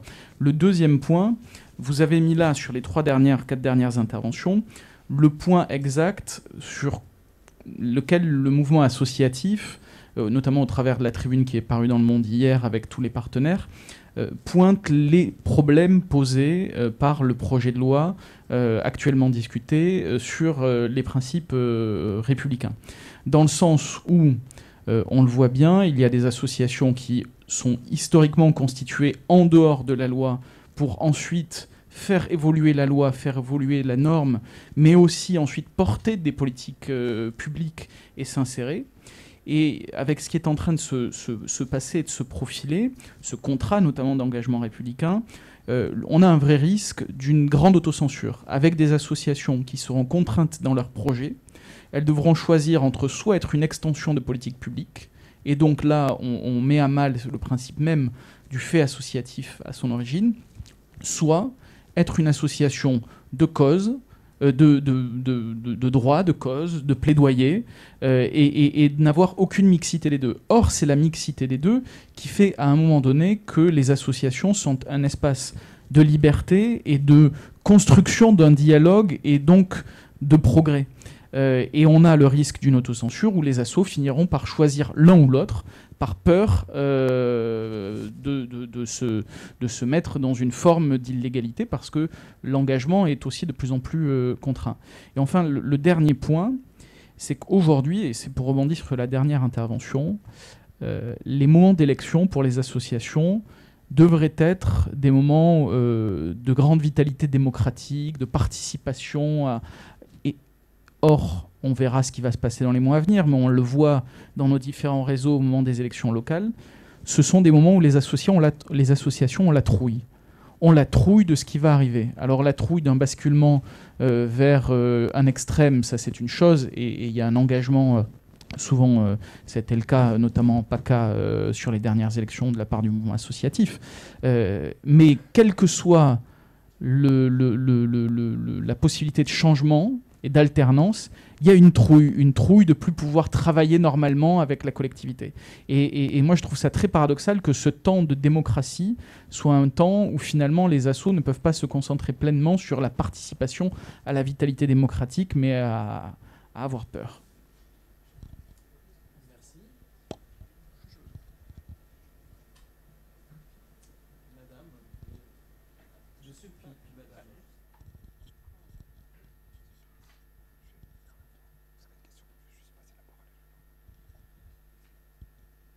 Bonjour et bonjour à tous. Euh, j'avais une remarque euh, qui s'adressait à Monsieur Talpin. Euh, je rebondis sur une phrase que vous avez dit, selon laquelle, d'après vous, un travail historique restait à faire sur, pour analyser ces restrictions aux libertés associatives sur le long terme. Euh, je souhaitais euh, l'informer qu'un certain nombre d'associations ont déposé euh, leurs archives, ont confié leurs archives au service public d'archives. Moi-même, je gère un, dispositif où, je, où je gère une centaine de fonds d'archives d'associations, dont celle des centres sociaux. Et donc, c'est une invitation à, aller voir euh, ces archives qui, à mon humble avis, peuvent euh, renfermer beaucoup de, renseignements sur les relations entre les associations et l'État. Je vous remercie. C'est bien, monsieur Talpin, vous repartez avec du travail. C'est parfait. Vous étiez venu pour ça. Euh, madame souhaitait réagir juste au milieu, on va vous apporter un micro. monsieur d'abord, bon, et puis après ça arrivera jusqu'à madame. Excusez-nous, vous êtes, situé au mauvais endroit. Oui, euh, bonjour à tous. Jean-Baptiste Jobard du CAC, le collectif des associations citoyennes. C'était pour une remarque et pour une question. Euh, la remarque, c'est euh, pour aller dans le sens de ce que Julien Talpin disait tout à l'heure. Sur l'exposé en fait du contenu du rapport euh, une, citoyenneté euh, réprimée. C'est vrai que là le, le temps ne le permet pas forcément, mais je, le rapport en fait a vraiment été construit sur deux jambes et il y a une analyse critique de la situation et puis il y a aussi toute une série de préconisations. Julien a commencé à, à, en évoquer une sur la structure du financement du monde associatif. Mais je pense que le rapport vaut aussi d'être lu par rapport à cette dernière partie qui est extrêmement importante et qui nous a aussi servi à étayer un petit peu là un livre, un livre collectif qui vient de sortir le mois dernier qui s'appelle Quel monde associatif demain on essaie d'établir deux scénarios d'évolution du monde associatif, celui de l'affaiblissement et celui du renforcement. Et euh, c'est pas pour rien que euh, on a voulu qu'il y ait plus de chapitres sur le scénario du renforcement que le scénario de l'affaiblissement. Euh, voilà. C'était une question plus pour Monsieur Bardou parce que euh, j'ai pas encore lu euh, le livre, mais je pense que ça va beaucoup m'intéresser, et notamment, euh, d'après ce que je comprends, il a fallu 20 ans en fait à, à Rousseau pour euh, aboutir son projet de loi. Et du coup, la question que j'avais, c'était dans quelle mesure vous, observateur à la fois des débats actuels, notamment en ce moment à l'Assemblée nationale, et connaisseur des débats il y a 120 ans, vous avez l'impression de vivre un éternel retour? Ou alors est-ce que euh, finalement ce qu'on vit là est relativement inédit? Euh, Voilà, c'était une question un petit peu générale, un petit peu difficile peut-être, mais qui m'interpellait. Non, ce n'est pas, ce n'est pas inédit. Cette question de l'autorisation préalable des associations, c'est toujours une tendance euh, de tout État, une tendance vraiment ancienne et une tendance de tout État. Et c'est en 1971 vraiment qu'on en a avait revu un nouvel épisode, mais on peut le revoir encore, encore. Hein. En 1971, c'était l'association des Amis de la cause du peuple qui avait été dissoute, donc dissolution d'association. Ça existe dans la loi, hein, c'est possible. Et Simone de Beauvoir, Michel Léris avaient alors créé une association, les Amis de la cause du peuple. Donc ils vont à la préfecture pour déclarer l'association. C'est normal, c'est dans la loi. Et voilà que la préfecture ne leur délivre pas le récipicé. Donc on remarque incidemment que les préfectures exerçaient déjà un contrôle sans le dire. Sans le dire, contrôler, et ça remontait au ministre pour dire euh, pas de problème ou c'est un problème, etc. Alors bien sûr, Simone de Beauvoir, Michel Léris vont au tribunal administratif de Paris qui donne tort au ministre et au préfet parce que ce n'est pas prévu dans la loi. Dans la loi, euh, même si on crée une association, euh, je ne sais pas, euh, enfin n'importe quoi, mais ce n'est pas le préfet qui peut décider que cette association a le droit ou pas le droit d'exister. Il faut engager des poursuites si l'objet de cette association est, est, en infraction avec la loi et ça se jugera au tribunal. Et donc, on ne peut punir que les faits, mais pas l'intention. Mais voilà que le ministre, Raymond Marcelin, était hors de lui à cause euh, de ce jugement et qu'il élabore une nouvelle loi réformant la loi de 1901 et prévoyant un mécanisme d'autorisation préalable, etc. Et c'est alors que le Conseil constitutionnel s'est saisi de l'affaire et a vraiment dit que la loi de 1901 est un principe fondamental reconnu par les lois de la République et à valeur constitutionnelle et que une loi même votée par l'Assemblée, parce qu'elle avait été votée par l'Assemblée, et donc euh, il y avait bien là, à ce moment-là donné une majorité prête pour revenir sur le principe. Donc si à cette époque on avait une majorité, on peut encore en avoir une autre hein, à un autre moment donné, surtout si on rédige la loi un peu mieux que ce que Marcelin avait fait, ce qui semble être peut-être possible. Bon, on apprend de tous les côtés. Voilà je veux revenir sur un point, c'est par rapport à l'État. On est toujours entre l'État et l'association. Et ça vient de la Révolution française. C'est ce qui faisait que c'était difficile euh, pour la Révolution de 48, pour les républicains, de rétablir le droit d'association, parce qu'on ne voulait pas euh, bon, que des clubs puissent, euh, puissent confisquer le pouvoir euh, on ne voulait pas qu'une minorité puisse confisquer le pouvoir au moyen d'organisations subversives, etc. Donc comment faire? C'était ça la difficulté de Valdez-Rousseau. C'est pour ça qu'il l'a fondé sur le droit des personnes à constituer une association. Mais ces associations-là doivent avoir un objet limité. Elle ne peut pas avoir pour objet la prise du pouvoir, elle ne peut pas avoir pour objet une vision totalitaire euh, de la société, etc. Il n'y a que l'État qui peut dégager les principes généraux de, de vie. Bon, je m'arrête là. Merci. On va prendre une dernière question et puis on, va passer à la table ronde suivante. Madame. D'accord, merci. Moi, je suis Michel de Messine, je suis présidente de l'UNAT, mais euh, surtout, je suis surtout une militante associative de longue date euh, et j'ai aussi exercé beaucoup de fonctions d'élu. Donc, j'ai été un peu des deux côtés.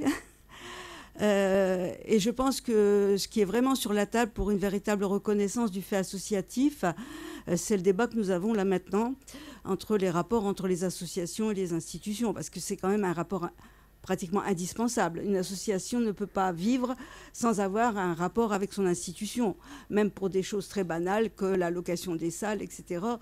Donc on voit bien qu'ils sont appelés euh, toujours à, vivre ensemble. Euh, et, quand j'entends euh, la définition euh, de la loi de 1901 telle que vous, vous nous la faites, Monsieur Bardou, je trouve ça merveilleux parce que s'il y avait beaucoup plus de militants associatifs qui entendaient ce discours-là sur la loi de 1901, plutôt que les débats qu'on a uniquement sur les questions de la laïcité, ils se rendraient bien compte que euh, ceux qui sont en train de vivre, c'est beaucoup plus, euh, beaucoup plus profond euh, et en correspondance avec leur aspiration de citoyen, j'en suis sûre.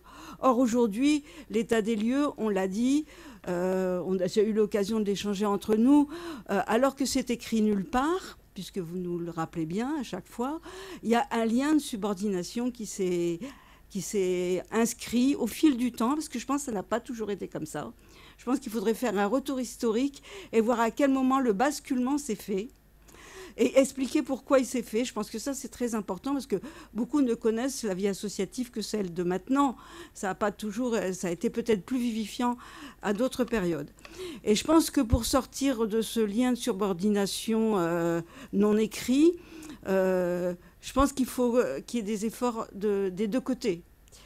Euh, c'est vrai que les, institutions et ceux qui sont élus dans les institutions, ils ont une vision utilitaire quand même un peu, même s'ils les adorent. Euh, les associations aussi, elles jouent un rôle tellement important dans leur commune, mais quelque part, ils ont euh, un peu ce regard-là. Et, de, et de l'autre côté, le mouvement associatif lui-même, il fait beaucoup d'autocensure. Même si c'est pas pas inscrit nulle part, ils s'autocensurent parce qu'ils pensent. Donc c'est un rapport comme ça qui est pas pas écrit nulle part, mais qui s'instaure. Et donc pour changer ça, c'est pas facile. Et donc, euh, j'ai entendu parler des propositions. Je pense qu'il faut des propositions. Euh, il faut qu'on euh, fasse bouger les choses de manière concrète. C'est pas avec le discours en disant que c'est. Bon, je pense qu'on fait le constat, notamment avec ce rapport, et ce serait bien qu'il soit davantage connu. Comme ça, on verrait que ces entraves, elles ne devraient jamais être autorisées et pas acceptées. C'est pas, pas, faut pas s'habituer à ça, surtout si ça s'aggrave.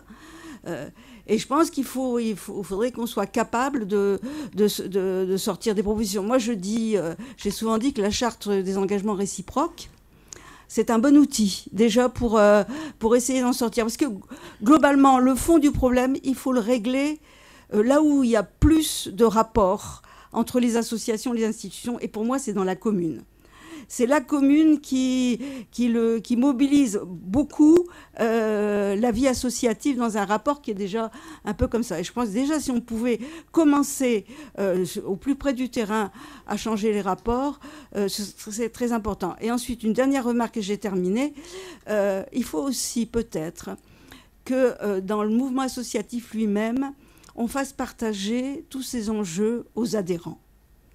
Et ce n'est pas toujours le cas. Il y en a certaines, bien sûr, celles qui sont très, très fortes sur le terrain de la lutte, etc.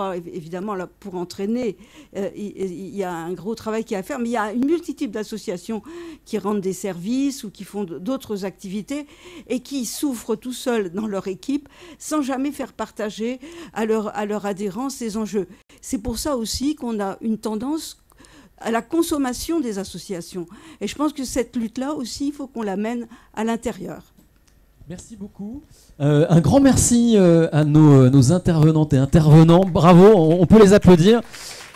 Véronique Seyé, Jean-Claude Bardou et Julien Talpin. Euh, restez avec nous si, vous le pouvez. Vous pourrez intervenir si vous le souhaitez à l'issue de, de, la deuxième table ronde. Pendant que vous libérez les fauteuils, vont arriver euh, nos euh, nouveaux invités. On va maintenant euh, s'intéresser à la situation des libertés associatives à travers le monde et particulièrement à nos portes en, Europe. Je vais demander donc à nos invités de nous rejoindre pour cette table ronde et ailleurs la société civile face au rétrécissement de l'espace civique.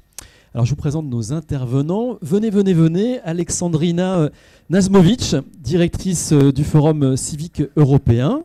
Le Forum civique européen, un réseau européen de plus euh, de 100 associations et d'ONG présentes dans 27 pays européens engagés sur euh, les questions de civisme, d'éducation, de citoyenneté, de la protection des droits de l'homme et de la promotion de la démocratie. vous publiez chaque année un rapport dont on va parler sur la santé de l'espace civique dans l'Union européenne et votre observatoire relate les menaces pesant sur les droits fondamentaux. Et votre dernier rapport il constate une restriction de liberté d'association. On va en parler. Avec nous, Pavol Zvalaï. Bonsoir.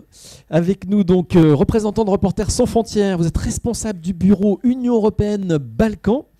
RSF qui publie chaque année son classement mondial de la liberté euh, de la presse, un document euh, référence qui évalue la situation de la liberté de la presse dans 180 pays et territoires. Et pour la cinquième année consécutive, la Norvège est classée au premier rang. En queue du classement, la Corée du Nord. Bon, tout ça n'étonne personne jusqu'à présent. Et puis euh, l'Europe. Eh bien, en Europe, euh, il y a des surprises, euh, puisque vous avez un indicateur qui s'appelle Exaction et qui fait reculer les pays d'Europe de l'Ouest, notamment la France et l'Allemagne. Ce sera intéressant que vous nous en parliez. Les actes de violence ont plus que doublé au sein de la zone Union européenne-Balkans, alors que cette dégradation est de 17% au niveau mondial. Avec nous également, bonsoir, Philippe Riffman, avocat et euh, également spécialiste hein, des droits des associations et droits humanitaires, politiste, professeur et chercheur associé à l'université Paris 1. Nous verrons avec vous, euh, après avoir découvert ce que nous disent les différents rapports, celui de Reporters sans frontières et, du Forum civique européen, ce qui caractérise les pays qui cherchent à, bâillonner euh, les associations, quelles techniques sont employées, quelles similitudes existent entre ces pays et nous interrogerons aussi sur les risques de taches d'huile ici euh, en France. Alors, si euh, vous le voulez bien, on va commencer par parler de la liberté de la presse, parce que c'est très souvent un bon euh, baromètre quand il s'agit de mesurer l'état de notre démocratie et donc des libertés associatives. Euh, euh, donc je disais en introduction, si l'Europe reste le continent le plus favorable à la liberté de la presse, il accuse une détérioration conséquente de son indicateur exaction. Euh, les actes de violence sont plus que doublés dans la zone Union européenne. Ça paraît in- in- incroyable. Euh, c'est les agressions contre les journalistes hein, qui ont augmenté. Oui, tout à fait. Vous avez raison. Avant de- d'entrer dans le vif du sujet, je voudrais remercier les organisateurs pour l'invitation. C'est un grand plaisir pour moi de pouvoir participer à cette table ronde. Euh, je vais me tenir au mandat de Reporters sans frontières qui est de défendre la liberté de la presse. Néanmoins, je pense que les libertés associatives et la liberté de la presse sont des vases communicants euh, sur plusieurs plans euh, opérationnels. Quand les journalistes travaillent avec les associations, se servent de leurs euh, enquêtes ou recherches. Sur le plan juridique, quand parfois les États s'en prennent à la fois, et c'est souvent le cas aux journalistes et aux ONG, et aussi sur le plan philosophique finalement, puisqu'on a parlé tout à l'heure de l'intérêt général, bah, les journalistes peuvent aussi être porteurs euh, de l'intérêt général. Euh, donc pour revenir euh, à l'Europe, effectivement, ce continent, donc Union européenne, plus les États de Balkans qui souhaitent adhérer à l'Union européenne, sont la zone la plus sûre, toujours, pour les, pour les journalistes dans le monde. Euh, mais ce métier reste dangereux euh, en Europe. Il est dangereux d'être journaliste en Europe. En témoignent euh, des assassinats ces dernières années. Heureusement, il n'y en avait aucun l'année dernière. Cette année, cependant, a été tué en Grèce un journaliste qui couvrait les affaires de police. Et vous aviez raison de dire que euh, les violences ont augmenté de manière significative euh, l'année dernière.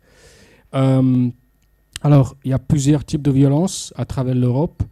C'est le crime organisé ou les délinquants qui attaquent les journalistes, comme ces journalistes assassinés dont j'ai parlé, ou comme Christian Lantenois, le journaliste de l'Union de Reims, qui a été euh, euh, attaqué euh, au début de, cette année. Et il y a aussi des autorités qui mettent en cause la liberté de la presse à travers, entre autres, les violences policières ou des euh, euh, interpellations arbitraires. Donc la France, effectivement, en a connu beaucoup l'année dernière. Également l'Allemagne. C'était des violences euh, commises lors des manifestations et en France et en Allemagne. Et c'est la raison même, euh, concernant l'Allemagne, pourquoi cette zone euh, des pays euh, avec la bonne situation sur notre carte de la liberté de la presse est la plus réduite euh, depuis 2013. Alors j'ai ici euh, cette carte, je ne sais pas si vous pourrez voir. Euh, euh, Ça, ça- ça va être compliqué de loin, mais on peut la déplier quand même. Est petite, mais... Saisissez-vous du micro. Donc il y a cette zone blanche où la situation est bonne, elle est plutôt en Europe, vous le- vous la voyez, elle est vraiment rétrécie, euh, la plus euh, réduite depuis euh, 2013. Et c'est en raison des, des- des violences euh, commises contre les journalistes lors des manifestations en Allemagne. Euh, Ce n'étaient pas des violences policières dans la majorité, mais c'était des, des individus proches des mouvances complotistes, euh, anti-vax, euh, euh, extrême droite, qui se prenaient aux journalistes. Et, et ces mouvances de thèse complotistes, euh, on les retrouve aussi beaucoup euh, en Bulgarie, euh, qui, qui est en, queue de classement. Oui. C'est un pays où vous- êtes Ouais. très inquiet pour la liberté de la presse. Oui, effectivement, la Bulgarie, c'est le dernier pays dans le classement dans cette zone euh, de l'Union européenne et Balkans.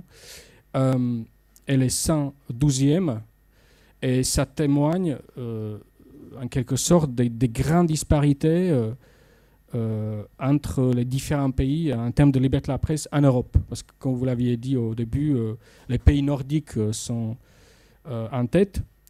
la Bulgarie est dernière. Et en Bulgarie, on voit vraiment, la Bulgarie cumule tous les problèmes et tout type de violence qu'on connaît ailleurs en Europe. La mafia, des violences policières, des, vraiment le, crime organisé. Et non seulement les, journalistes sont agressés, euh, mais euh, les autorités échouent à les protéger. Euh, il y a une un fort climat d'impunité, ce qui est un grand, grand problème, surtout en Europe de l'Est. Un pays aussi vous inquiète particulièrement, c'est c'est la Hongrie. Évidemment, on parle beaucoup de la Hongrie, on en a beaucoup parlé dans l'actualité ces, oui, ces derniers effectivement, jours. Effectivement, on en parle beaucoup maintenant. Et justement, c'est un exemple d'un pays où le gouvernement met en cause à la fois les libertés associatives et euh, la liberté de la presse euh, depuis longtemps. Euh, la Hongrie est classée 92e et donc elle n'est pas dernière en Europe, mais le régime de Viktor Orban est dangereux parce qu'aujourd'hui il inspire et coopère avec d'autres gouvernements dans la répression de la liberté de la presse. Euh, un exemple, c'est la Pologne, qui s'inspire de, des mesures appliquées depuis un moment déjà en Hongrie, mais aussi la Slovénie, c'est un petit pays euh, euh, voisin de l'Autriche, dans les Alpes, et qui, par ailleurs, aujourd'hui, je pense qu'on est le 1er juillet, assume la présidence de l'Union européenne. Et nous sommes très inquiets euh, pour euh, cette. Euh, enfin, nous sommes très inquiets à raison de, des mesures déjà déployées contre la liberté de la presse par le gouvernement slovène. Nous sommes inquiets parce que ce gouvernement peut entraver des tentatives d'améliorer la liberté de la presse en Europe en tant que président du Conseil de l'Union européenne. Et c'est vraiment important que ce gouvernement s'inspire euh, de Victor Orban. Donc Victor Orban aujourd'hui représente un, contre-modèle euh, de la liberté de la presse euh, en Europe. Vous dénoncez des lois liberticides? Pensez à quelle loi Oui. donc en Hongrie, concrètement, c'est la législation d'urgence qui a été adoptée au début de la crise du coronavirus. et cette législation criminalise la diffusion des fausses informations et euh, il est important de savoir, connaître le contexte. Donc, depuis longtemps, Victor Orban accuse les, médias indépendants justement de diffuser les fausses informations. C'est une accusation hum, politique euh, qui, en fait, vise à fragiliser euh, les peu de médias restants en Hongrie, puisque le gouvernement, directement ou indirectement, contrôle 80% du paysage médiatique hongrois. Et ces 20% des médias euh, indépendants sont visés par des campagnes de dénigrement. Et depuis mars ou avril 2020, par cette loi anti-coronavirus qui inflige des, peines de prison pour la diffusion de, fausses informations. Et selon notre, nos enquêtes, cette loi a un effet de euh, autocensure, dont on a parlé aussi ici, euh, sur les journalistes et sur les sources. Euh, et nous croyons à RSF que le journalisme, c'est le meilleur vaccin contre la désinformation. malheureusement, la Hongrie a été un des pays qui bloque justement le journalisme et en fait fragilise la lutte contre le coronavirus. Reporters sans frontières s'inquiète aussi d'une recrudescence, d'une augmentation des actions en, justice de plus en plus nombreuses contre, contre les, journalistes que vous appelez les, procédures Bayon.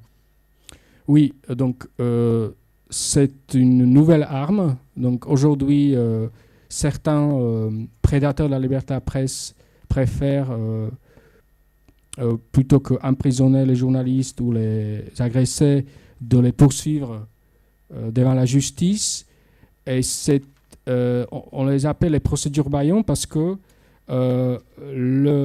souvent, sous prétexte de la, du droit euh, de se défendre contre la diffamation,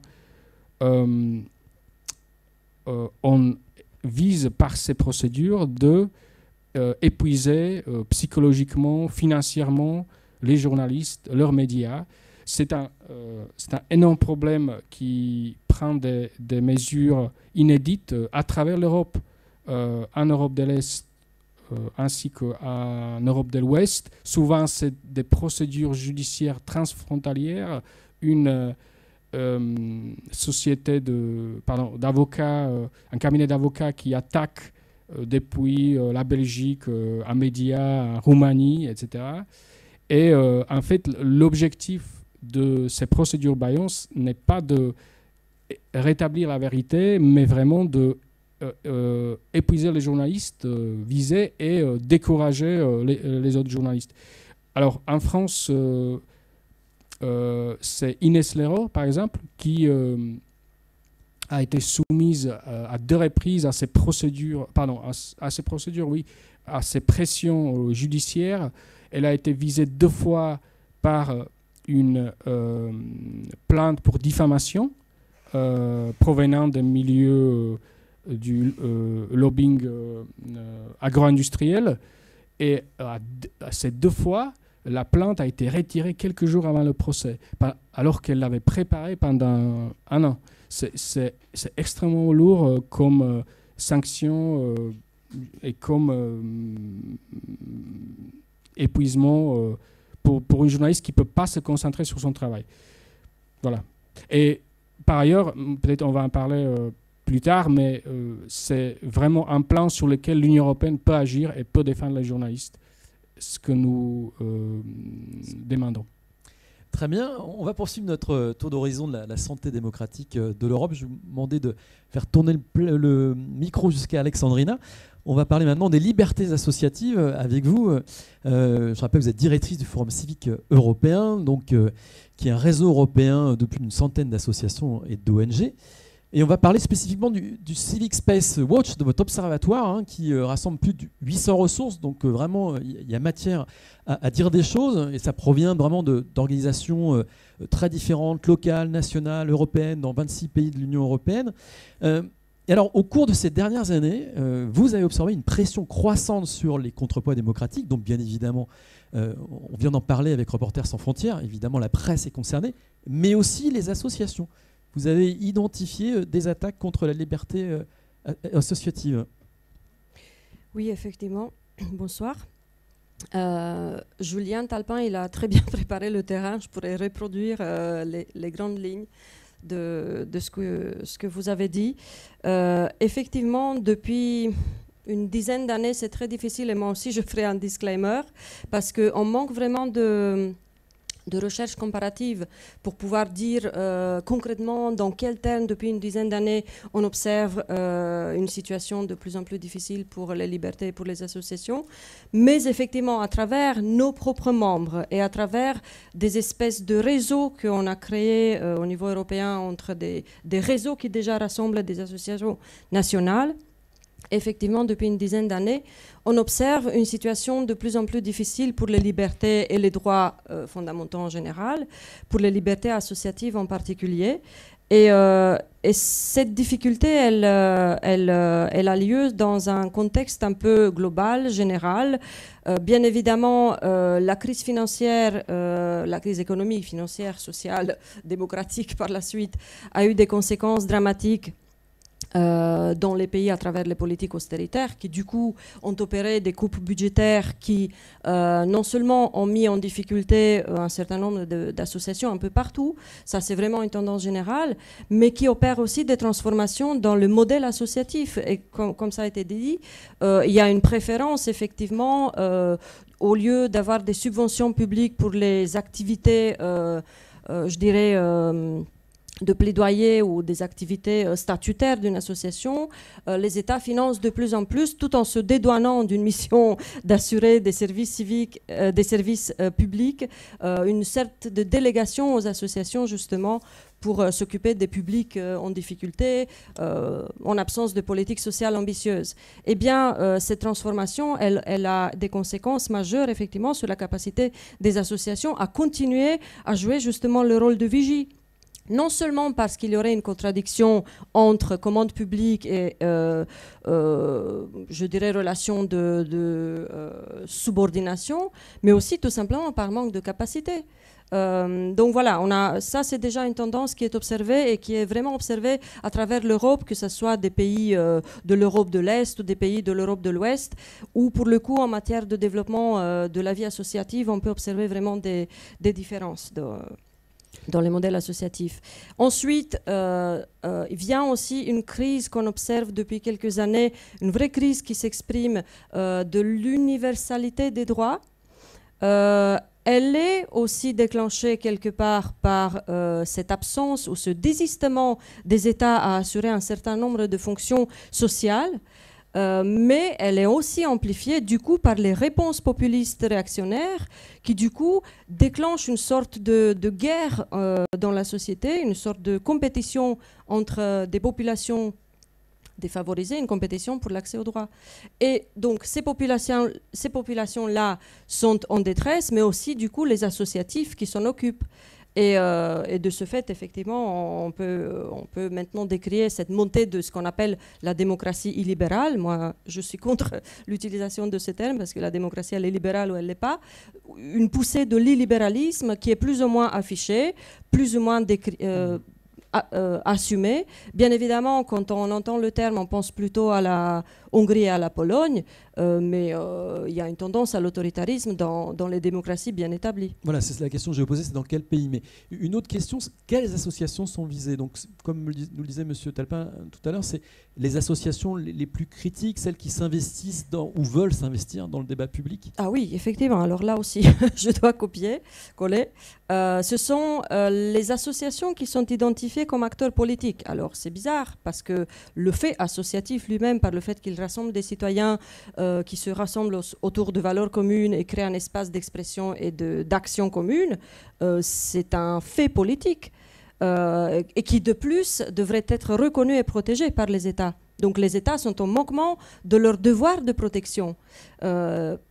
mais mais au-delà de ça, effectivement, de plus en plus, on entend un discours, ça a commencé en Hongrie, euh, un discours qui, euh, qui, stigmatise le travail dit politique des associations. Effectivement, il s'agit du travail de plaidoyer, mais même plus que ça, il s'agit d'un travail effectivement de critique euh, des politiques publiques.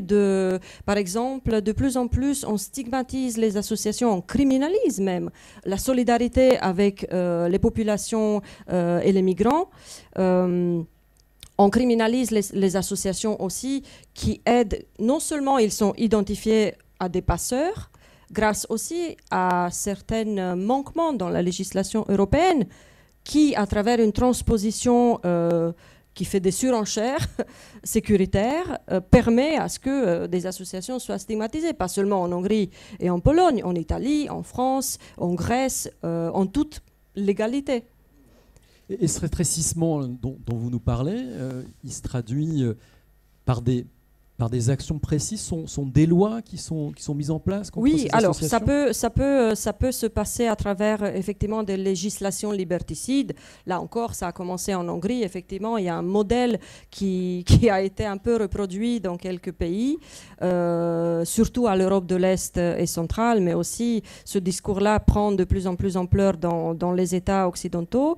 C'est un discours qui stigmatise les associations et qui considèrent par exemple que des associations qui perçoivent des financements euh, étrangers sont des associations qui œuvrent contre les intérêts nationaux. Donc en Hongrie, on a commencé, euh, on a adopté une telle loi, on était en pleine assemblée générale du Forum civique européen en 2017 quand on a reçu une lettre du Premier ministre Orban qui nous disait en gros euh, euh, de, nous mêler de nos, de nos affaires et qui anticipait même, qui nous annonçait de la préparation de loi, de la deuxième loi du paquet euh, Stop Soros, qui visait la criminalisation justement des acteurs de solidarité avec les migrants et qui nous disait par anticipation ne vous fatiguez pas trop de réagir à cette loi-là parce qu'elle s'inscrit dans une logique européenne de transparence, etc. Donc, euh, voilà, ce sont des lois liberticides, mais qui, dans un premier temps, à une première analyse, euh, sont adoptées par des soucis de transparence, euh, de, législation sécuritaire ou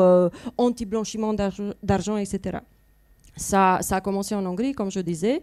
Euh, ça, ça, a un peu essaimé dans, dans les pays de l'Europe de l'Est, ce discours euh, anti-Soros. Pour vous, c'est des prétextes oui, effectivement, ce sont des prétextes. Euh, heureusement, ça a pris vachement de temps à l'Union européenne de pouvoir réagir et malheureusement, l'Union européenne ne dispose pas à ce jour d'un arsenal juridique justement pour la défense euh, de ces attaques euh, à l'état de, droit, in fine, aux valeurs européennes. Ça a pris du temps, mais très récemment, il y a eu une, une, décision de la Cour européenne de justice, justement, qui a invalidé la loi, le Lex NGO hongroise, justement, euh, parce qu'elle est, elle est contraire au droit européen. Bon, la raison qui a été invoquée, c'est la libre circulation des capitaux. Euh, on aurait pu peut-être trouver aussi d'autres arguments, mais malheureusement, on n'a pas tellement d'arguments juridiques au niveau du droit européen pour défendre les valeurs et la démocratie, contrairement aux, préceptes euh, économiques. Alors vous, demandez à l'Union européenne, hein, puisqu'aujourd'hui il n'y a pas suffisamment d'outils forts euh, pour défendre la liberté et la liberté associative. Vous demandez euh, à l'Union européenne d'agir, vous formulez des, propositions oui, alors c'est ça aussi l'objet de notre. On, fait des propositions politiques euh, depuis des années. Certaines, certaines ont été bien classées dans les tiroirs des, institutions. on ne laisse pas tomber l'affaire. maintenant, on a quelques opportunités avec, avec l'adoption d'un nouveau cycle, par exemple en Europe, pour la la, comment on dit, la révision de l'état de droit. Euh, depuis l'année dernière, euh, l'Union européenne et notamment la Commission européenne va préparer tous les ans un rapport sur l'état de droit, rapport dans la préparation duquel elle consulte les États membres. Alors là encore, on a, souligné quelques manquements puisque euh, on s'aperçoit que parfois par manque de temps, euh, mais aussi de méthodologie, bah, on fait remonter des questions qui ne sont pas très problématiques pour un certain nombre d'États. Donc voilà, avec les associations euh, et les réseaux européens rassemblés par exemple au sein de Civil Society Europe, qui est euh, une sorte de mouvement associatif au niveau européen, eh bien on, mène du plaidoyer et on a déjà bataillé à ce que euh, l'espace civique et des critères et des indicateurs des libertés civiles fassent partie justement de, du cycle d'analyse de l'état de droit en Europe ces choses faites. On nous promet, aussi de travailler avec nous davantage pour identifier des, critères bien précis et donc de prendre en compte l'état de la liberté associative quand on rend compte de, l'état de droit euh, dans différents pays en Europe, pays par pays. Merci. Euh, vous pourrez évidemment hein, intervenir dans, quelques instants. On, continue notre tour de table. Euh, on voit, on commence à deviner comment se dessine donc ces, logiques de rétrécissement de l'espace civique. On va voir avec vous, Philippe Richman, avocat au, barreau de Paris, enseignant-chercheur, quels moyens de coercition sont, employés contre les, associations. Euh, vous faites un constat, d'ailleurs, je crois, hein, vous l'avez tous fait, hein, et vous aussi, le niveau d'acceptation de la critique associative euh, diminue dans de nombreux pays. Et alors, vous l'avez constaté aussi dans des pays dont on n'a pas parlé encore, euh, l'Israël, l'Inde, oui, bah, bonsoir, et puis merci aussi au mouvement associatif de, cette mise en perspective permet cette mise en perspective. Je pense que les deux tables rondes s'articulent extrêmement bien de ce point de vue. Il y a effectivement, aussi par rapport à ce que Alexandrin vient de dire, il y, a, un effet de mimétisme en fait. La globalisation, c'est cela aussi.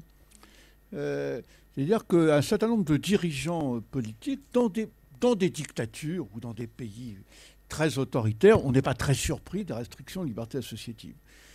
Euh, dans des pays euh, euh, qui ont des élections, qui ont une façade démocratique ou qui ont des fonctionnements démocratiques, ça peut être plus surprenant. Mais on, assiste à, ces effets de mimétisme et finalement à, des reprises. Vous évoquiez les, les, textes en Hongrie, on peut soutenir que Viktor Orban s'inspire beaucoup de Vladimir Poutine. Et effectivement, de ce point de vue, la Russie, euh, sous, le régime actuel, est un peu pionnière, en quelque sorte, dans les restrictions au niveau international des libertés associatives. Je rappelle qu'il y a quand même des élections en Russie, que c'est un État pas totalitaire, ça ne l'est plus. Euh, il y a un certain nombre de libertés, mais euh, c'est aussi, on pourrait le caractériser en partie comme un gouvernement de tendance nationale populiste. Et ce qu'on voit, c'est que les, gouvernements de, peu de, même tendance ont, un peu cette tentation de, euh, de s'imiter les uns les autres. Et donc en Russie, il y a eu une série de lois depuis 2007, votées par la Douma, qui ont notamment euh, déterminé ce qu'on appelle la catégorie agent de l'étranger. Et cette catégorie agent de l'étranger, elle est reprise maintenant en partie en Hongrie. Elle est reprise, euh, elle a été reprise en tout cas sous le gouvernement Netanyahou en Israël, elle a été reprise en Inde. Et donc, il y a cet effet, cet effet-là. Et les deux points, ou les trois points centraux sur lesquels ces restrictions portent, c'est le financement, les actions judiciaires, et puis euh, également euh, euh, la question d'agents de l'étranger au nom de la sécurité nationale. Et ça va très loin. On peut citer un exemple, par exemple en Inde, Greenpeace India, qui est une, qui est une ONG qui est la branche de Greenpeace, mais qui est totalement indienne. Je dirais, elle est, elle est uniquement dirigée par les Indiens. Elle trouve des financements en partie en Inde, mais aussi, parce que c'est aussi le principe des flux transnationaux entre, entre réseaux, elle recevait des financements euh, de Greenpeace, d'autres, Greenpeace. Et elle a été euh, mise en cause par le gouvernement Modi pour, pour une action qu'elle menait, parce que le, gouvernement me dit en Inde, euh, pour, euh, dans, sa pratique euh, économique pour faire de l'Inde dépasser la Chine, ou en tout cas être équivalente à la Chine, mise énormément sur le charbon. Et donc, qui était d'extraction facile en Inde et qui n'est pas cher. Et donc, Greenpeace India a dénoncé les risques environnementaux et ça a été considéré comme une atteinte à la sécurité nationale par euh, le gouvernement indien et par un certain nombre d'instances d'ailleurs gouvernementales en Inde, et Greenpeace a été poursuivi pour cela. A été d'une part donc euh, pour les flux financiers, ils ont cessé tout, ils ont très vite décidé de ne plus recevoir aucun fonds de l'étranger. Ça n'a pas empêché le gouvernement, me dit, de continuer euh, à les poursuivre, et en multipliant notamment les procédures judiciaires à leur encontre, et ça a fini par conduire à la fermeture euh, de, de, Greenpeace euh, India. Donc on a l'utilisation de ce, genre de technique. Il y a un autre exemple en, Israël aussi qui est, intéressant. Alors en Israël, on a la, branche euh, israélienne d'Amnesty a aussi été mise en cause par le précédent gouvernement, par le gouvernement Netanyahou, pour les fonds qu'elle recevait. du réseau Amnesty et de façon plus générale, toute une série d'ONG de défense des droits en, en Israël euh, sont dans le collimateur, ou étaient dans le collimateur des autorités. On ne sait pas ce qui va se passer avec le nouveau gouvernement. Il semble qu'il veuille, au, moins en partie, revenir en arrière là-dessus. Mais elles étaient dans le collimateur parce que dans des, dans des contextes très polarisés politiquement, euh, donc sur euh, Israël-Palestine, les droits des pays, euh, la mise en cause des droits. il est difficile à une, association locale, souvent, de trouver des financements dans sa propre société. Amnesty Israël reçoit des financements d'un certain nombre d'Israéliens, mais elle reçoit aussi des, des fonds étrangers. Et puis pas seulement d'Amnesty, mais de la Commission européenne, de la Norvège, toute une série d'ONG de défense des droits en Israël sont, reçoivent largement des financements étrangers. Et le gouvernement euh, précédent mettait l'accent là-dessus pour essayer de, euh, réduire ou de faire cesser euh, ces flux, avec aussi la même appellation qu'au départ il n'avait pas, mais qu'on a vu émerger dans les trois dernières années, d'agents de l'étranger, parce que vous recevez des fonds de l'étranger, d'institutions, de, gouvernements ou d'ONG supposées être hostiles au gouvernement israélien. Le représentant du Human Rights Watch, euh, euh, enfin le, responsable du Human Rights Watch en Israël, a fini par être expulsé. Je signale qu'il avait été expulsé précédemment d'Égypte et de Syrie, donc il commence à collectionner effectivement dans la région un certain nombre euh, d'expulsions de nature, mais de la même manière parce que Human Rights Watch aussi le bureau de manière en, en Israël dénonce effectivement des atteintes à des droits. Euh, Alors, on voit bien donc les associations qui sont visées, hein, qui sont les associations les, plus critiques. Mais qu'est-ce qui caractérise euh, ces pays, quelles similitudes on peut, on peut, on peut y trouver? Euh, C'est des régimes autoritaires populistes, ils sont dans des dans cette situation économique, sociale particulière. Euh, ce sont des pays qui se replient sur eux-mêmes, parlent en même temps de globalisation, donc tout ça est assez contradictoire. Mais quelles similitudes, quelles caractéristiques communes euh, je ne suis pas sûr qu'il y ait une caractéristique commune, mais il y en a plusieurs que vous avez, que vous avez citées. C'est-à-dire qu'effectivement, il y a le type, je dirais, de, euh, de gouvernement, et incontestablement, si on fait une analyse en, en sciences politiques, des gouvernements comme le gouvernement Modi, ou le gouvernement Netanyahou, euh, ou, ou, gouvernement Orban peuvent être rangés euh, avec les précautions d'usage dans la catégorie de gouvernement populiste donc, et nationaux populistes. Donc il y a effectivement une, une inclination politique, mais il y a aussi la polarisation très forte et la, non-acceptation aussi de euh, de, la, de, critique. Et on voit en Russie des choses euh, aussi là-dessus tout à fait euh, intéressantes, c'est-à-dire que le gouvernement actuel, ce qui n'était pas le cas il y a dix ans, ne supporte pas la, remise en cause historique ou la critique historique.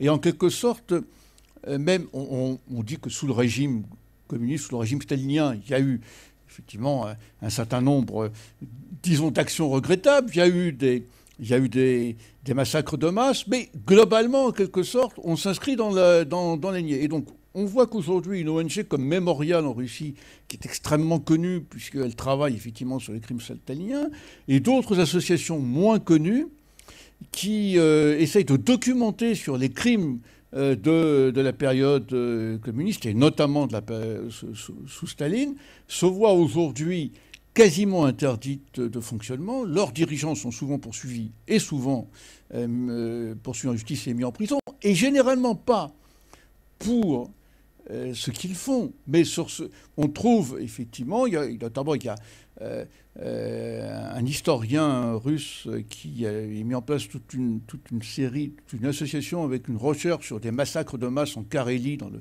au nord de Saint-Pétersbourg, qui a été poursuivi et mis en prison soi-disant pour violence sexuelle sur, euh, euh, sur sa belle-fille. Donc il y a effectivement une utilisation aussi des dispositifs euh, légaux de ce point de vue.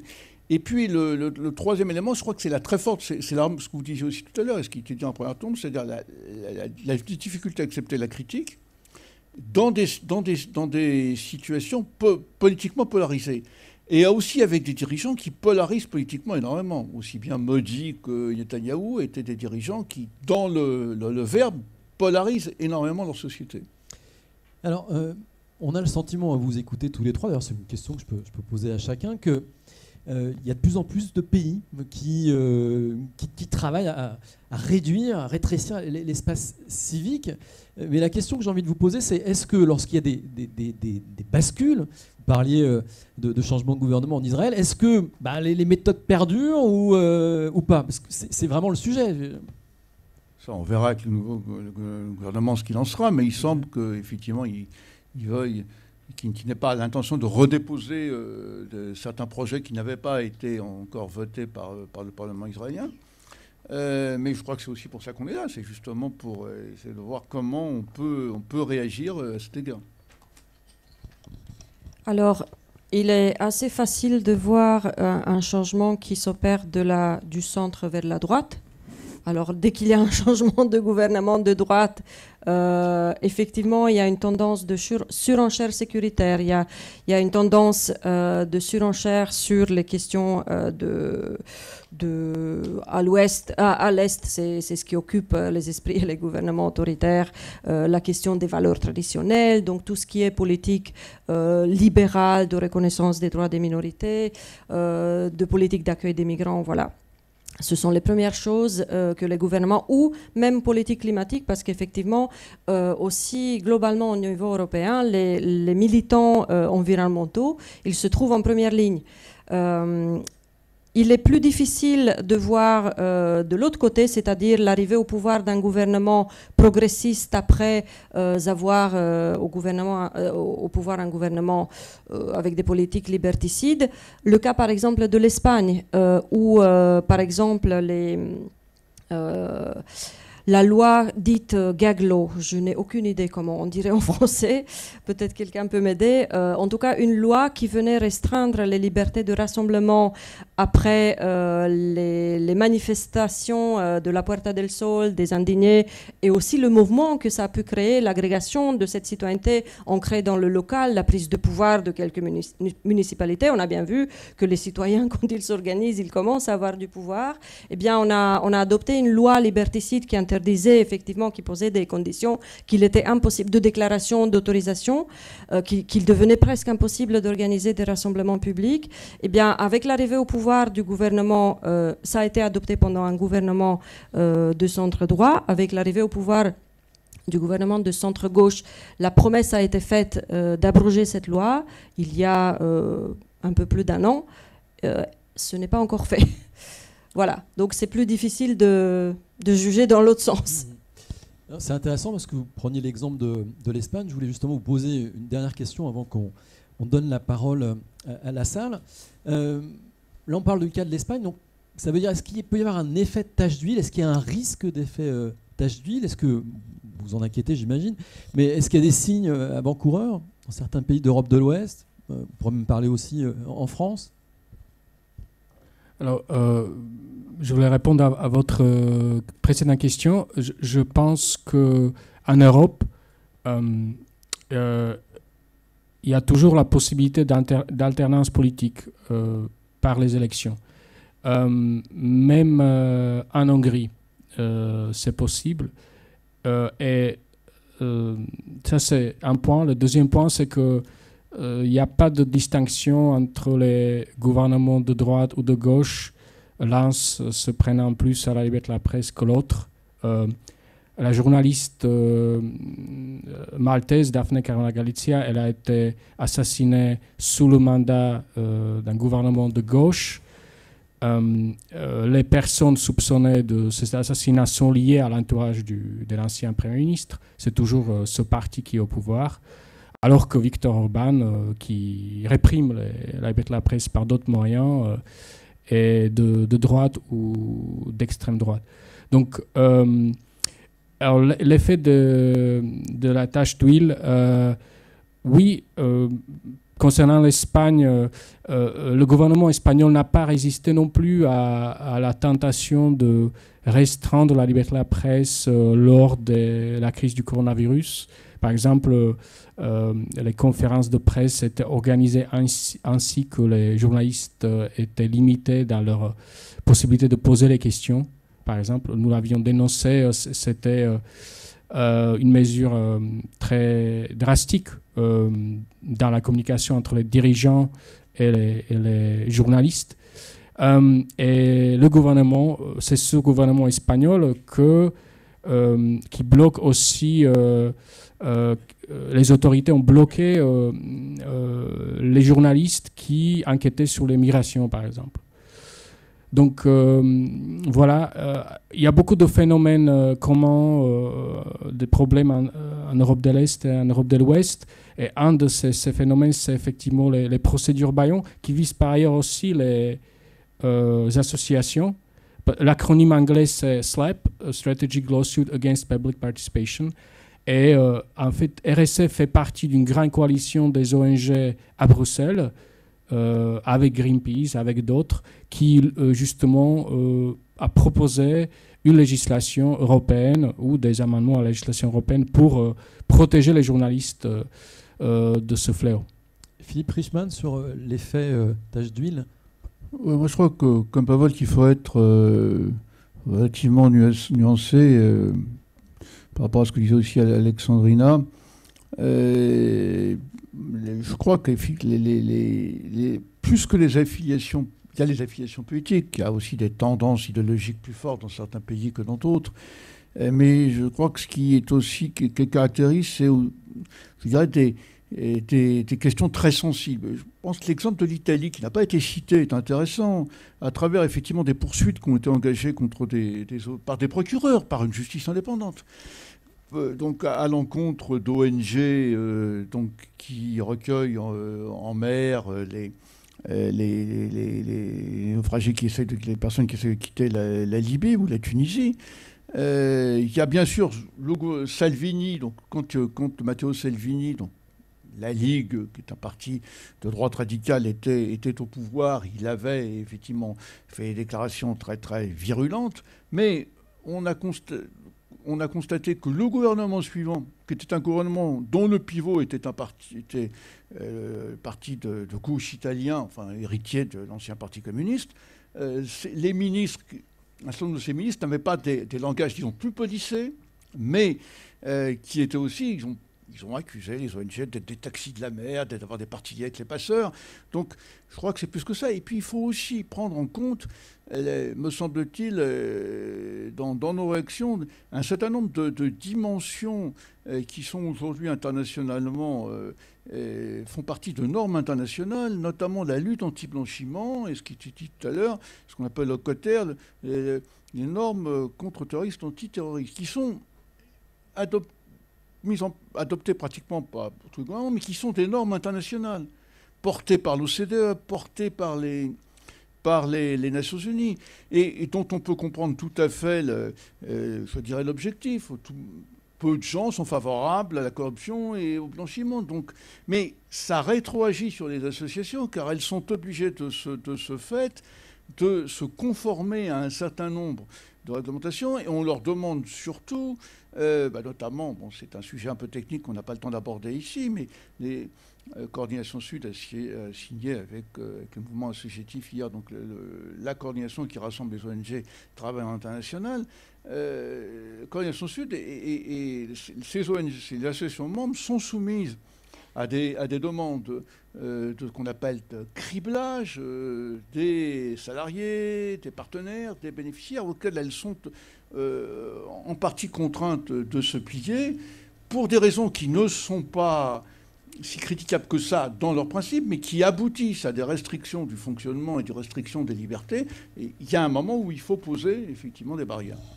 Alexandra Najmovic oui, je pense euh, que j'étais un peu mal comprise quand j'ai dit euh, qu'il était plus facile euh, de, détecter la détérioration que l'amélioration.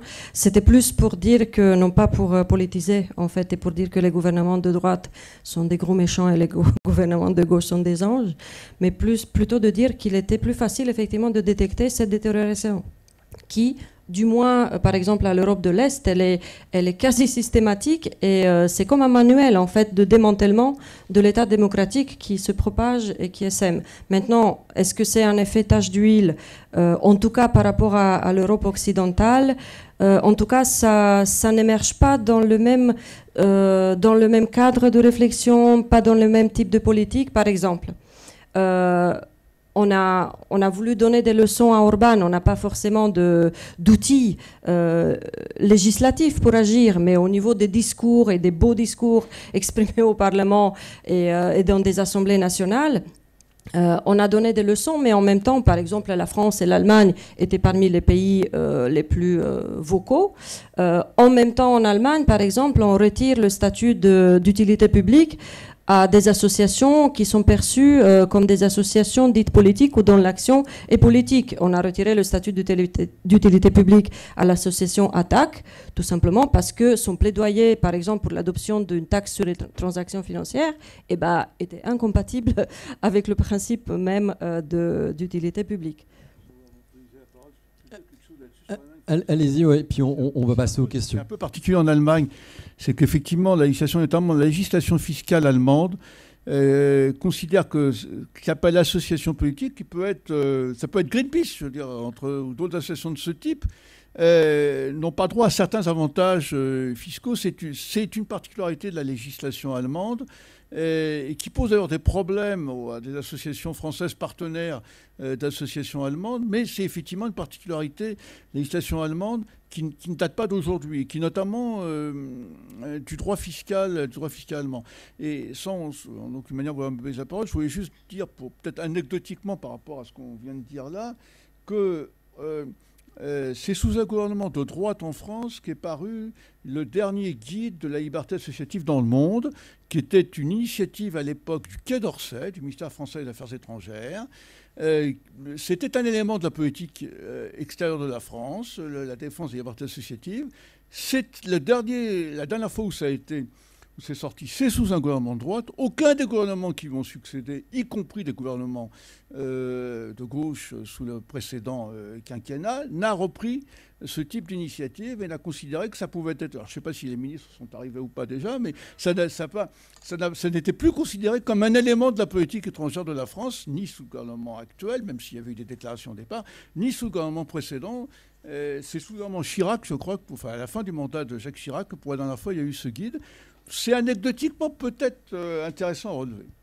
Merci. Je vous propose, si vous le voulez bien, de laisser maintenant la parole euh, à la salle. Donc euh, le micro est ici et on va le laisser se balader dans les, allées. Et puis nous prendrons bien sûr aussi des réactions depuis Internet. Je vous en prie. Merci, Stéphane Gros-Claude à nouveau. Euh, moi, je m'interroge à l'inverse, en fait, sur euh, la place de la France dans tout ça. Euh, pays des libertés, où on voit bien quand même que c'est pas aussi simple que ça. comment sommes-nous perçus et quel est notre rôle et, on, dit par exemple que le secteur associatif en France bénéficie beaucoup du soutien de la puissance publique, ce qui était vrai peut-être un peu moins aujourd'hui quelle est la situation Comment, quelle altérité on peut avoir sur ce sujet-là Alors ça me permet de dire ce que j'ai pas eu le temps de dire justement sur la France. Euh, si on compare la France à la Hongrie, alors effectivement, la France est un champion et la, vitalité euh, et la santé démocratique en France ou, ou même à d'autres pays euh, où où le contexte euh, culturel, historique euh, n'a pas permis euh, à la vie associative de se développer de, cette manière. Mais pour revenir à propos de, cette capacité symbolique à donner des leçons, pour, pour, être en position de le faire, il faudrait être exemplaire.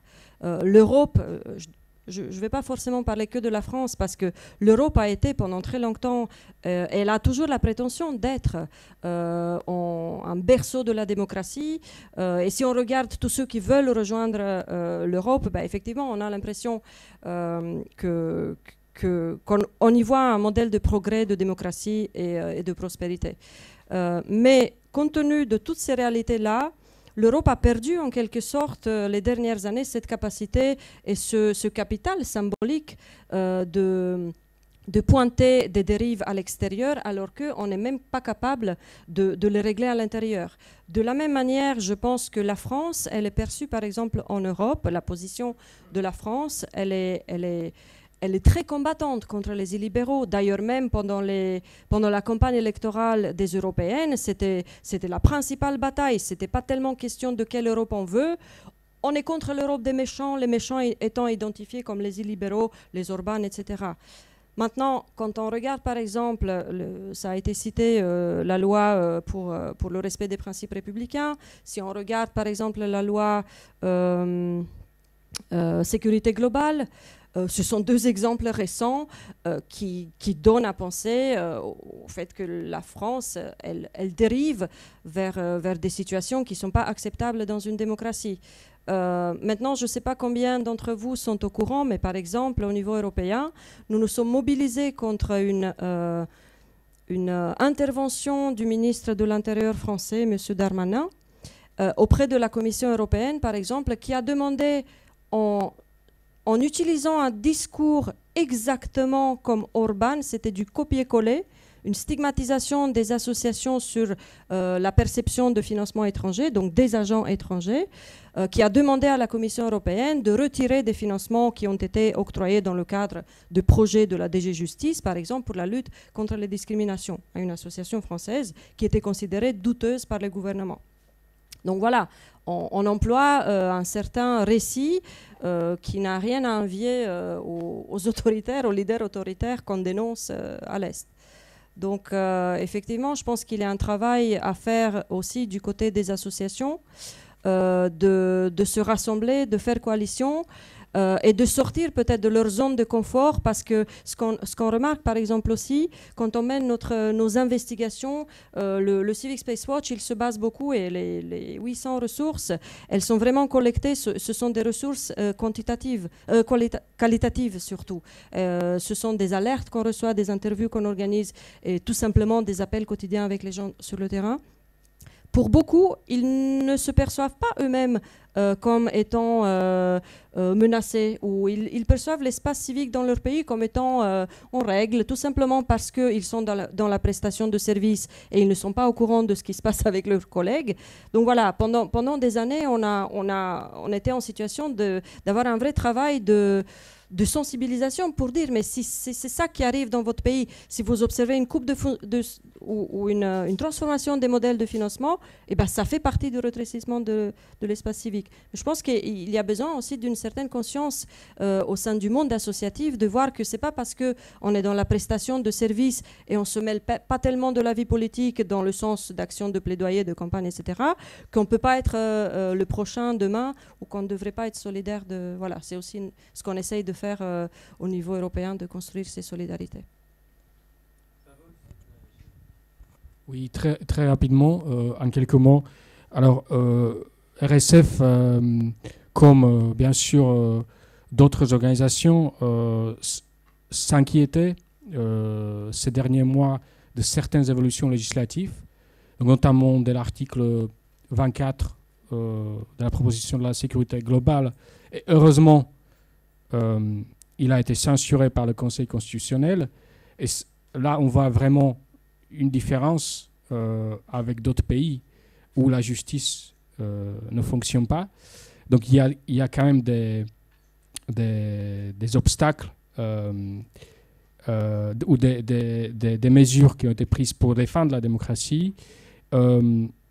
Actuellement, le projet de loi confortant les principes républicains est, débattu en séance publique euh, à l'Assemblée nationale.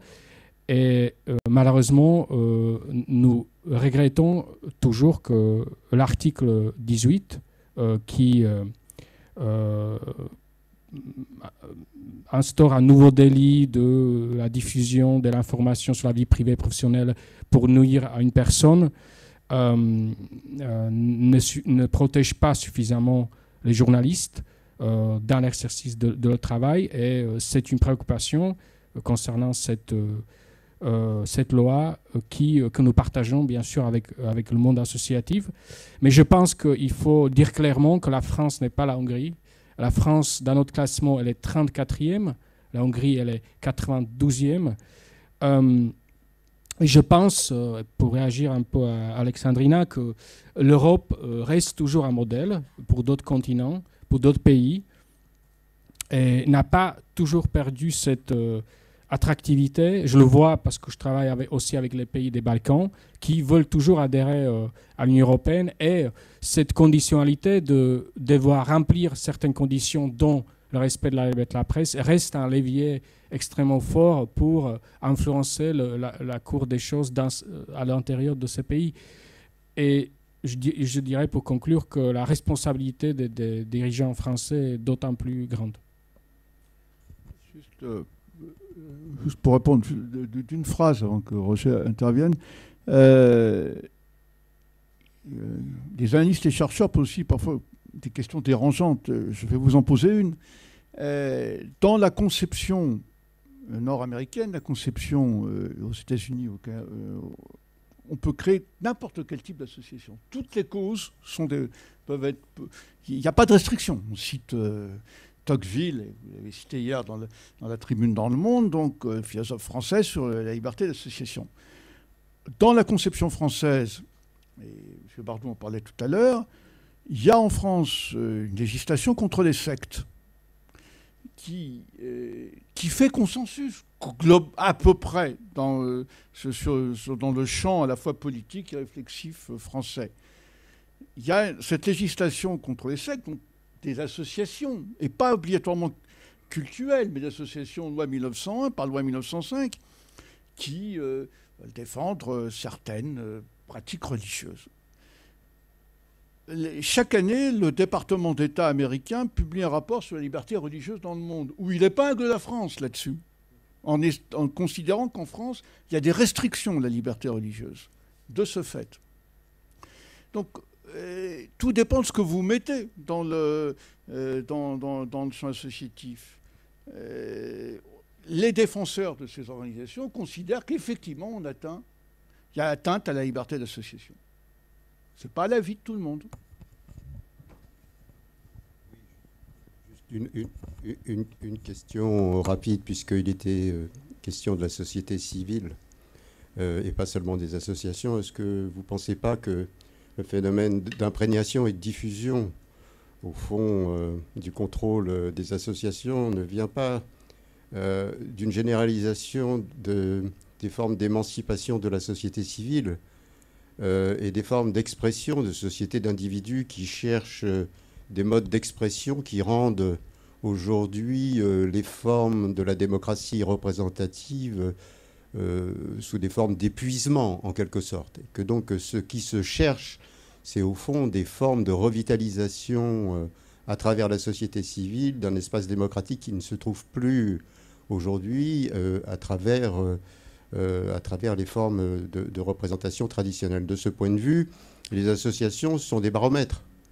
Parce que les associations, en tant qu'elles sont l'expression organisée de la société civile, sont prises comme leur expression et face au pouvoir public, les pouvoirs publics sont face à une espèce de contradiction qui est soit je contrôle, soit je donne des possibilités d'organisation à ces, organisations. On, voit aujourd'hui que c'est la question euh, du contrôle qui, domine euh, face euh, effectivement à une incapacité à, réguler une démocratie qui, je crois, moi, sur le plan des sociétés civiles, sont en attente d'autre chose. Donc voilà, le, débat, le, débat est ouvert quoi, autour de ça. Merci. Une, réaction, sinon on, enchaîne les, les, les, remarques. Monsieur, puis après ensuite, euh, juste derrière. Oui, non Allez, je vous en prie, Julien. Ouais, merci. Euh, non, je voulais rebondir sur la question du poids de la variable politique, en fait, dans euh, la restriction de, l'espace civique. juste pour donner des éléments, nous, de, notre travail d'enquête sur la France, un des éléments qui se dégage, c'est précisément que ces restrictions, elles émanent de tout type de collectivités, de gauche comme de droite, en fait.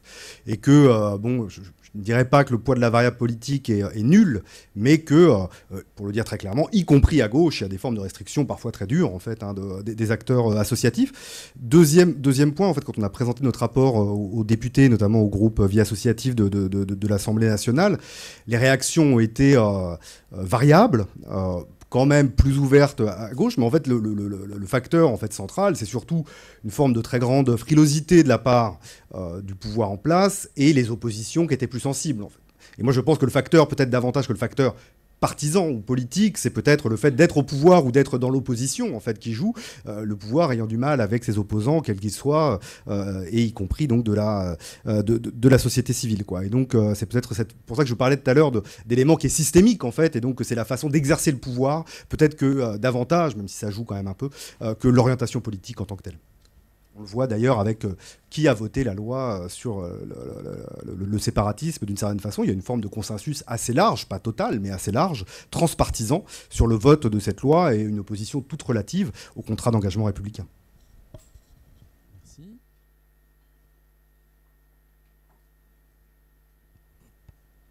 Alors, est-ce qu'il est y a d'autres questions dans la salle ou, sur, sur Facebook? Est-ce que on n'a pas, de questions euh, du côté, euh, du côté d'Internet et, de l'autre salle.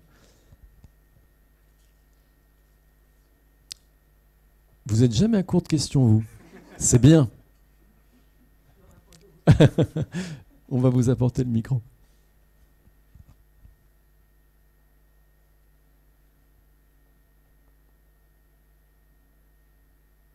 Cette fois-ci, ma question, va porter sur les échelles, en fait, parce que on parle de, plaidoyer, de modèle économique aussi. Euh, je constate, dans les réseaux européens dans lesquels je suis impliqué, qu'ils, euh, dès lors qu'ils ont, ils obtiennent un financement européen, leur militance a tendance à euh, s'arrondir, on va dire. Et comme on est à une période de renouvellement des programmes 21-27, euh, je me demande si c'est avec aussi des nouveaux, des nouveaux critères sur la question d'inclusion, d'environnement, etc. Est-ce que c'est des choses qui évoluent, que vous constatez? Je suis là. Merci.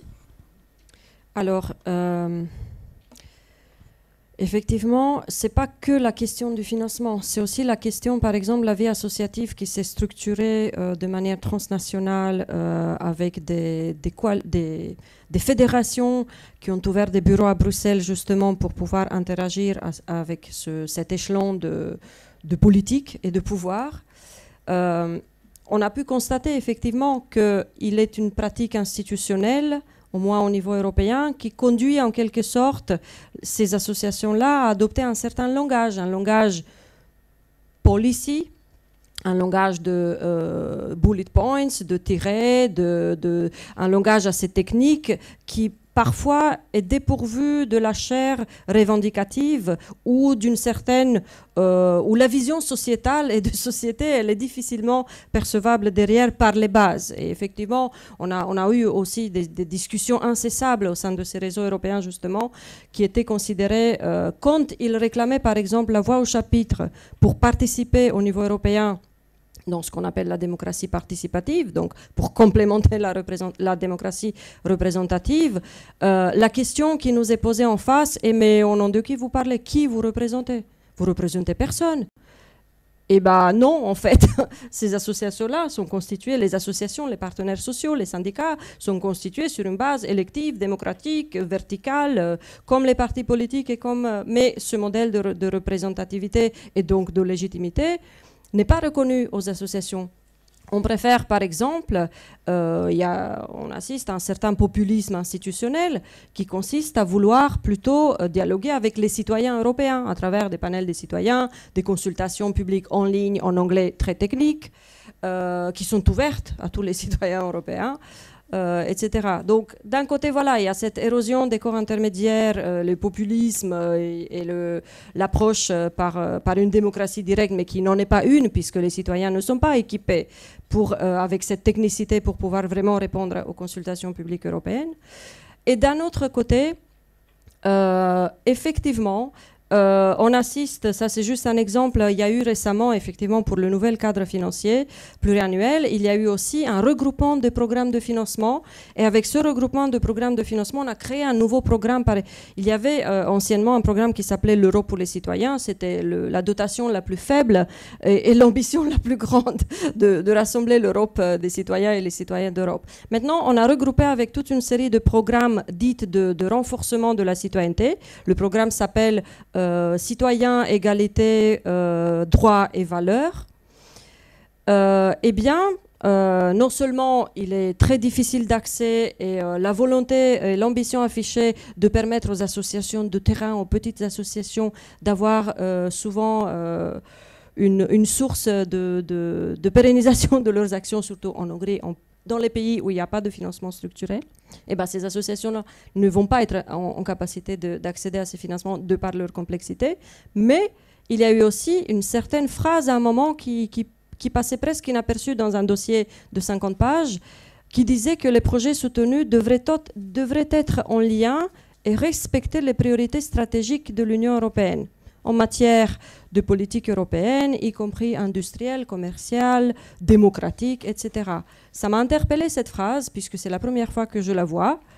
Et effectivement, il y a quelques années, on a pu constater, il y a eu une frange au Parlement européen qui s'insurgeait, par exemple, contre le fait que des associations européennes et des réseaux européens critiques dans les milieux environnementaux, mais pas seulement, dans les milieux de développement, par exemple, euh, percevaient des financements européens et œuvraient en quelque sorte contre les intérêts stratégiques européens, donc étaient critiques des politiques européennes en cours.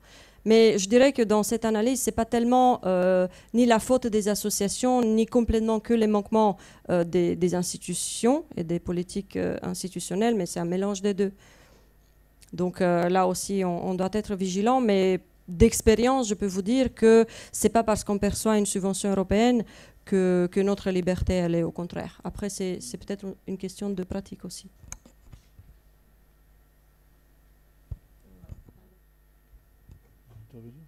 Oui, mais en même temps, on reçoit, quand on reçoit une, on n'est jamais, on est toujours libre, c'est ce que tu dis tout à l'heure, d'accepter ou pas une subvention. En même temps, quand on reçoit une subvention européenne, euh, ou une, une, subvention publique, quelle qu'elle soit, c'est de l'argent public. Donc on a une redevabilité, ce qui est normal.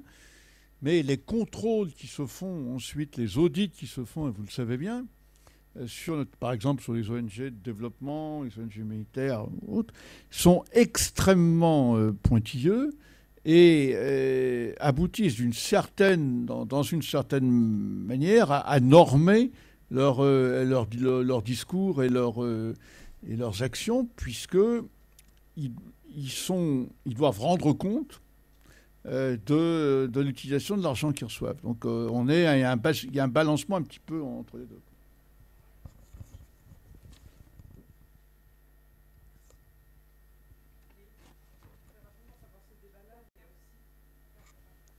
Allez-y. Voilà. voilà. Euh, la question euh, que vous évoquez, Alexandrina, c'était aussi la question de, euh, de, des, des, associations aujourd'hui, mais aussi de la société civile et de la place qu'elle peut prendre dans le débat, avec le poids des lobbies aussi, et le fait que euh, des lobbies peuvent se saisir d'un certain nombre de mécanismes européens. Je pense à des pétitions, par exemple, euh, pour restreindre les droits, qui sont aussi très développées aujourd'hui. Enfin, je pense que les attaques contre les défenseurs des droits aujourd'hui se multiplient et on prend des modèles un peu partout. Enfin, on parle beaucoup de Pologne et de Hongrie. Et on voit bien ce qui se passe en Pologne aujourd'hui.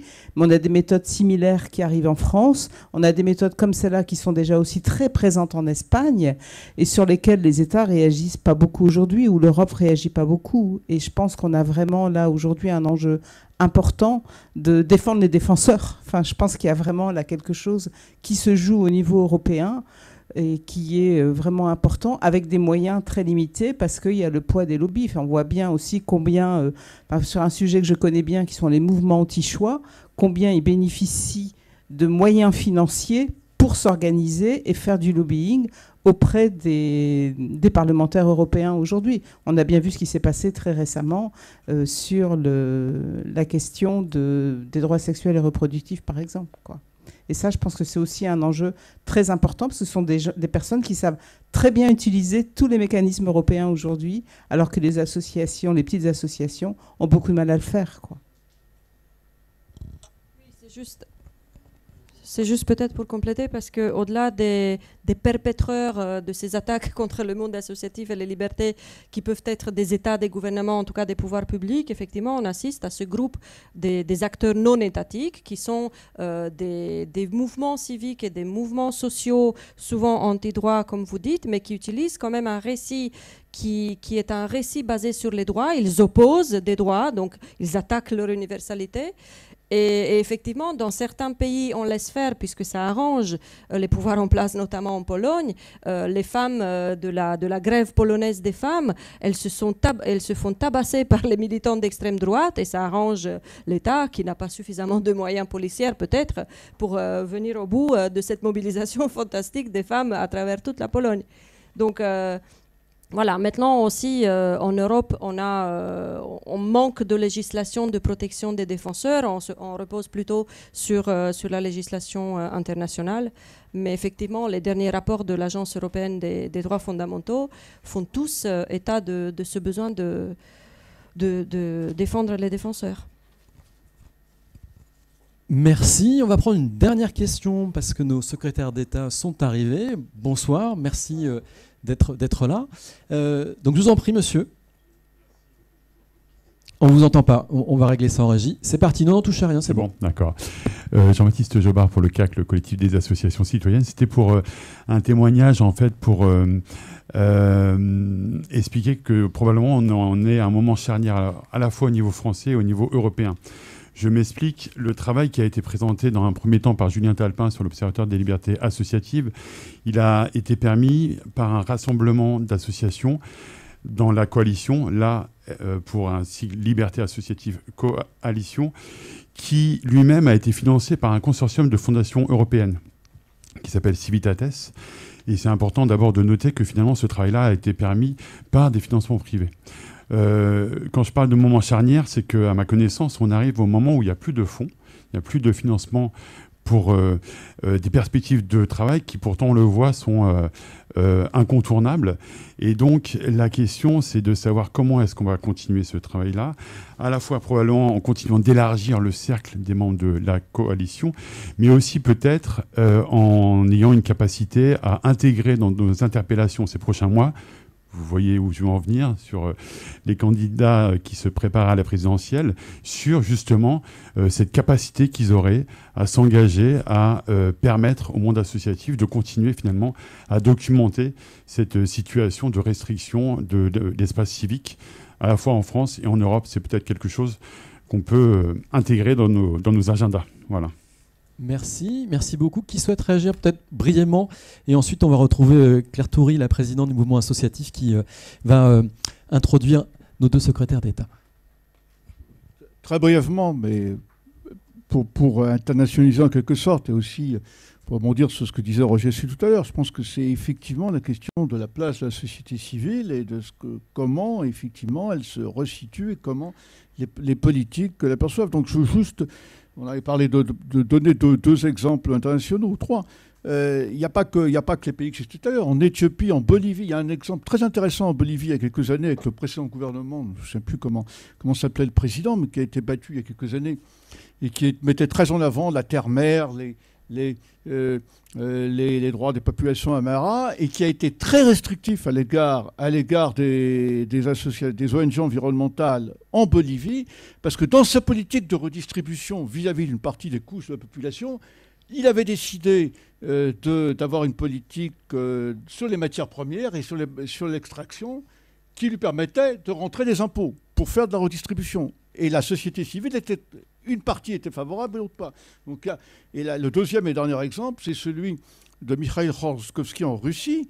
Il est mal considéré parce qu'il était un oligarque, mais il a fait dix ans de camp. Euh, euh, euh, donc parce qu'il s'est Vladimir Poutine avait très bien compris quel était son projet sociétal, qui était d'aider au développement avec l'argent qu'il avait gagné avec Yukos, c'était de développer, renforcer et financer le développement de la société civile en Russie. Et c'est pas accepté, c'était pas acceptable pour le gouvernement actuel. Donc, euh, Roger a tout à fait raison sur la place. Effectivement, il ne faut pas rester uniquement dans le contexte français là-dessus. C'est sur la place qu'on veut, qu'on accepte de la société civile et qu'elle-même revendique. Merci beaucoup, un grand bravo à, nos intervenantes et intervenants. Merci beaucoup Philippe Riffman, Alexandrina Najmovic, Pavel Svalay. Claire Toury, je vous propose de, regagner euh, la tribune. Merci euh, à tous.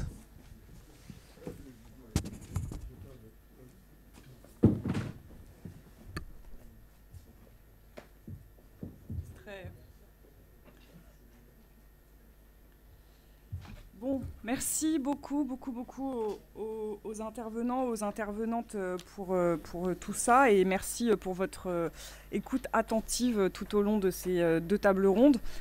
Mesdames les ministres, bonsoir. Rebonjour, on s'est vu ce midi, voilà. J'ai déjà parlé en introduction, donc je vais être très brève, mais comme vous êtes là, l'occasion était trop, belle hein, quand même, pour profiter, pour rappeler certains petits messages. Mais avant de le faire, je voulais euh, vous alerter euh, sur la petite BD qui se trouve dans euh, le kit d'accueil que vous avez reçu ce soir. Donc c'est une BD qui revient sur l'histoire de la loi 1901 et donc je, je voulais remercier son auteur, Jean, à reproduire, non pas massivement mais quand même un petit peu ce soir pour que vous puissiez euh, l'avoir entre vos mains. Alors, aujourd'hui, on célèbre les 120 ans de la loi 1901, certes, mais en fait, on célèbre deux autres anniversaires. On célèbre les 50 ans, enfin, c'est pas aujourd'hui, mais cette année, disons, on célèbre les 50 ans du droit d'association reconnu comme constitutionnel, et on célèbre aujourd'hui, et ça va faire plaisir à Michel, les 20 ans de la charte des engagements réciproques. Je voudrais bien qu'on s'attarde 2-3 minutes sur cette. Enfin, 2-3 minutes, non, je rigole, une minute vraiment, je, me dépêche, mais euh, quelques instants en tout cas sur euh, la charte des engagements réciproques entre vous, du coup, les pouvoirs publics que vous représentez ce soir, et entre, euh, avec nous, du coup, le monde associatif. Alors, cette charte, elle est certes non contraignante, mais elle est clé. Pourquoi? Parce que elle marque une reconnaissance réciproque du rôle de chacun. Elle atteste d'une relation de confiance. Elle revendique surtout la co-construction comme base de la relation partenariale entre l'État et le monde associatif, représenté en 2001 par la CPCA, aujourd'hui mouvement associatif. plusieurs choses que je voulais euh, vous dire. D'une part, je pense que avec cette charte des engagements réciproques, on a un tort partagé, vraiment partagé, je pense. Je trouve qu'on l'a pas assez fait vivre collectivement cette charte. Aujourd'hui, elle est déclinée nationalement avec deux ministères seulement, la culture et la justice. Elle est déclinée dans un certain nombre de territoires et c'est très bien. Mais je crois qu'on pourrait se réapproprier toutes et tous cet outil qui est quand même un outil euh, extrêmement euh, riche pour euh, voilà la décliner sectoriellement et territorialement. Donc ça, c'est je voulais vous dire ça ce soir. L'autre chose que je voulais vous dire, c'est la nécessaire, je crois, reconnaissance par les pouvoirs publics de l'autonomie de la vie associative. La force associative, on l'a dit, hein, on l'a bien vu tout au long de, ces, ces, deux heures et demie d'échange, c'est une force de liberté qui ne doit pas être contrainte inutilement, au risque de voir s'affaiblir l'initiative associative dont notre pays a besoin, à tous les échelons, du plus micro au plus macro. Alors, j'aime pas les raccourcis, j'ai toujours été un peu méfiante des affirmations péremptoires, mais je pense que je suis pas caricaturale quand je dis que notre société, elle ne va pas très bien. Je pense qu'on peut le dire. Une société apaisée, c'est une société où l'on co-construit. C'est une société qui permet à chacun de trouver sa place. Une société où les relations, entre toutes et tous, elles sont basées sur la confiance et non pas sur la défiance. Une société où le pouvoir d'agir des citoyens est réaffirmé et incarné. C'est aussi plein d'autres choses, mais c'est notamment ça loin, je crois, de l'image corporatiste que l'on veut parfois attribuer aux associations, la force associative, c'est une force inclusive, c'est une force du collectif, c'est la capacité des citoyens à s'organiser eux-mêmes pour faire ce qu'ils veulent faire, pour trouver ou donner du sens tout en s'épanouissant. La force associative, c'est la reconnaissance des expertises d'usage et de l'intérêt général. Alors, ce que je voulais vous dire, après je vous laisserai la parole, c'est que si les associations, elles ne sont pas la solution à tout, heureusement, elles sont une partie non négligeable de la réponse et je pense que c'est important de le réaffirmer ce soir. Et j'en profite pour souhaiter un très bon anniversaire à la loi 1901. Merci. Je crois, Madame Grégoire, que c'est vous qui commencez.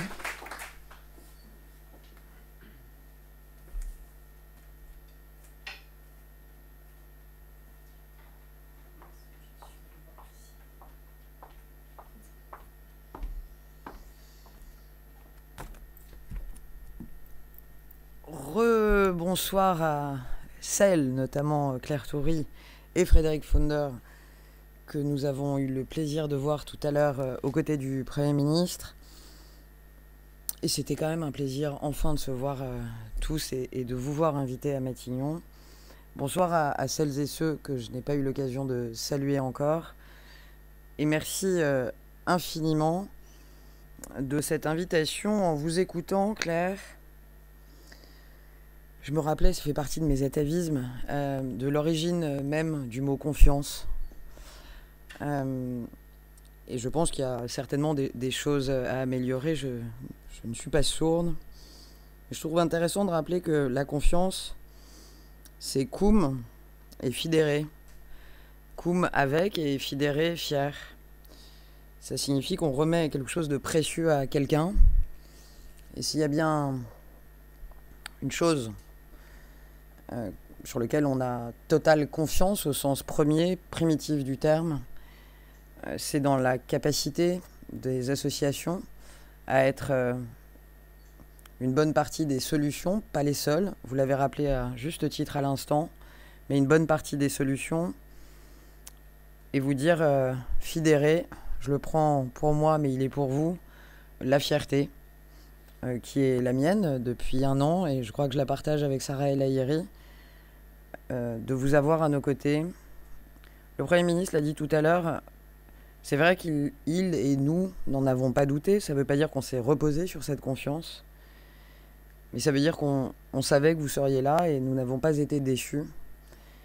Et s'il y a toujours, euh, comme dans toute relation de confiance entre êtres humains, des choses à améliorer, vous dire que euh, très sincèrement, et ça n'est pas écrit sur mon discours officiel que je vais attaquer tout de suite, vous avez été plus qu'à la hauteur de la confiance. En tout cas, en tant que secrétaire d'État, euh, j'ai en vous depuis euh, bien avant que je sois nommé au gouvernement. On est évidemment réunis, et vous l'avez rappelé aussi Claire Toury à l'instant, pour célébrer les 120 ans de cette loi du 1er juillet 1901. En préparant euh, cet anniversaire avec mon équipe, on se disait, la coutume, c'est quand même de venir à un anniversaire avec un cadeau. Vous aurez remarqué que je viens les mains vides. Mais je vais assez vite euh, tuer le, suspense. Je ne viens pas, et certainement pas, avec un cadeau qui serait par exemple d'annoncer une euh, loi de 1901.2. Parce que la loi dont on fête aujourd'hui les 120 ans, elle est encore d'une étonnante euh, modernité. Pour la députée de Paris que j'ai été, c'est une leçon de voir que les trois premiers articles de la loi de 1901 n'ont jamais été modifiés depuis leur promulgation. C'est assez rare et on, partage euh, ce parcours parlementaire avec Sarah El Haïry pour être euh, souligné. Il faut ici évidemment rendre hommage à Pierre Vadec Rousseau, le père de la loi de 1901, mais aussi des lois de 1884 sur les syndicats ou encore de 1898 sur les sociétés de secours mutuels, en quelque sorte, un très grand précurseur de l'économie sociale. S'il n'est pas besoin de refaire une loi de 1901, c'est aussi que les enjeux ont beaucoup évolué. La très belle loi sur la trésorerie des associations qui a été euh, promulguée aujourd'hui prouve d'ailleurs, s'il le fallait, que les besoins actuels des associations ne sont plus tellement dans la loi de 1901, mais davantage dans le code monétaire, financier, dans le code du commerce. Un enseignement de cette crise qu'on tire aussi euh, avec évidence. Une crise euh, qui a profondément et durement frappé nos associations. Mais je le crois, cette crise va aussi paradoxalement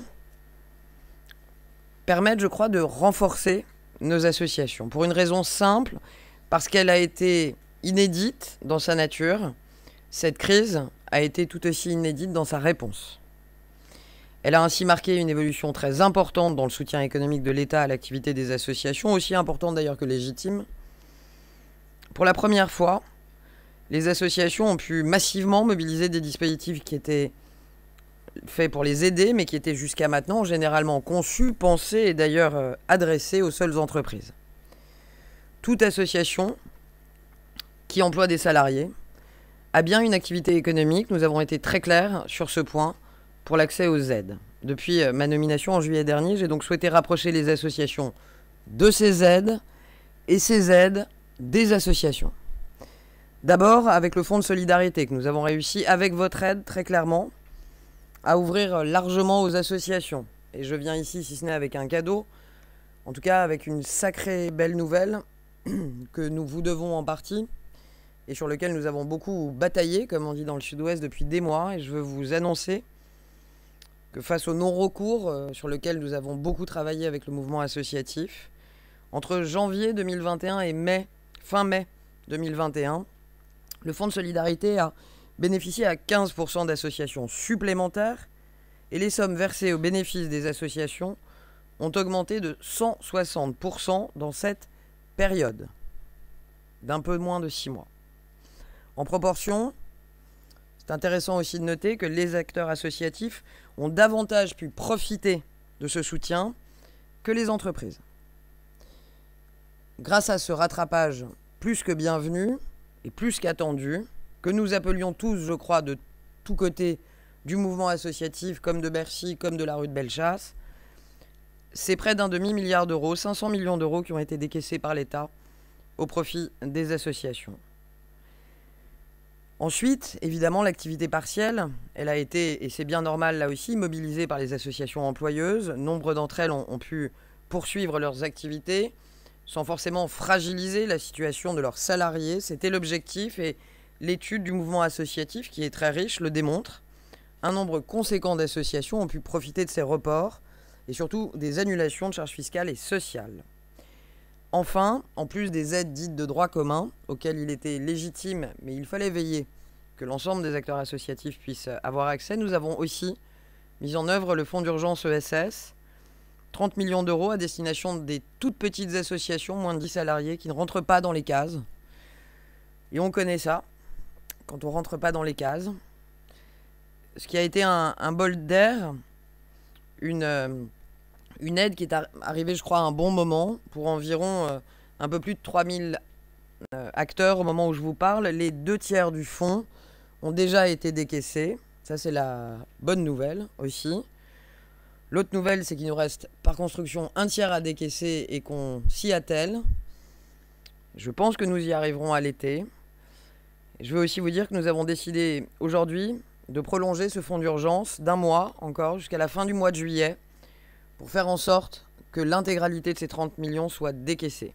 Je ne peux pas me résoudre à l'idée, en ancienne budgétaire de la Commission des finances, je ne peux pas, je dirais même que je ne veux pas, me faire à l'idée que de l'argent qui ne serait pas mis à profit pour des petites associations retourne, comme c'est d'usage, au budget général de l'État.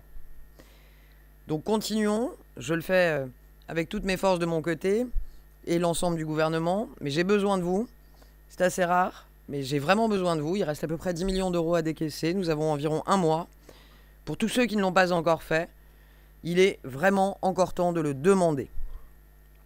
L'État a été là pour que les associations, bien sûr, puissent faire face à la crise, mais l'État sera là pour que les associations nous permettent de dépasser cette crise. Comment? En leur permettant de recruter, grâce à la large augmentation des parcours emploi compétences dont nous avons encore avec Elisabeth Borne assoupli les conditions. En leur permettant aussi d'investir, grâce aux nombreux appels à projets qui ont été ouverts en matière d'économie circulaire, de santé, d'écologie ou encore d'alimentation, pas moins de 100 millions d'euros qui ont, en plus de ces appels été à, à projets, ont été mis à disposition des associations de lutte contre la précarité et qui sont déjà décaissés, non pas en deux vagues de 50 millions comme ça avait été envisagé, mais avec Olivier Véran, nous les avons décaissés en une seule fois pour financer des projets associatifs. Pas moins de 33 projets d'envergure nationale et 66 projets d'envergure locale, régionale, sont financés aujourd'hui grâce au décaissement de ces 100 millions d'euros. C'est sur cet investissement que je souhaite aujourd'hui insister et sur lequel je vous propose ensemble de lancer une réflexion.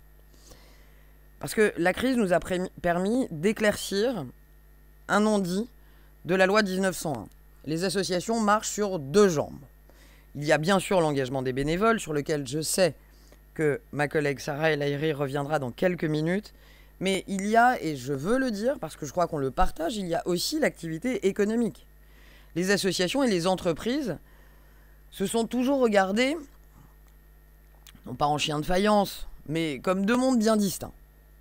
Historiquement, personne n'oublie bien sûr qu'en France, la loi Le Chapelier de juin 1791 et avant elle le décret d'Allard sont venus interdire toutes les formes associatives précisément au nom de la libre entreprise. Il persiste depuis comme une sorte de malentendu historique entre l'association et l'entreprise. Elles ont bien sûr leurs spécificités, et il me paraît très important d'avoir distingué entre la vie associative, rue de Bellechasse, et la vie économique des associations, rue de Bercy. Mais ce n'est pas parce que la Seine nous sépare que nous devons oublier les nombreux ponts qui nous permettent ensemble de l'enjamber. Les associations aujourd'hui, c'est 170 milliards d'euros de budget annuel. Ce sont 160 000 structures employeuses et 1 850 000 salariés. C'est 10 fois le chiffre d'affaires, le nombre d'employeurs et le nombre d'employés que compte la French Tech. Cette comparaison, elle n'est pas innocente. Et je sais, je ne doute pas qu'on pourra me la reprocher. Mais elle est aussi intéressante.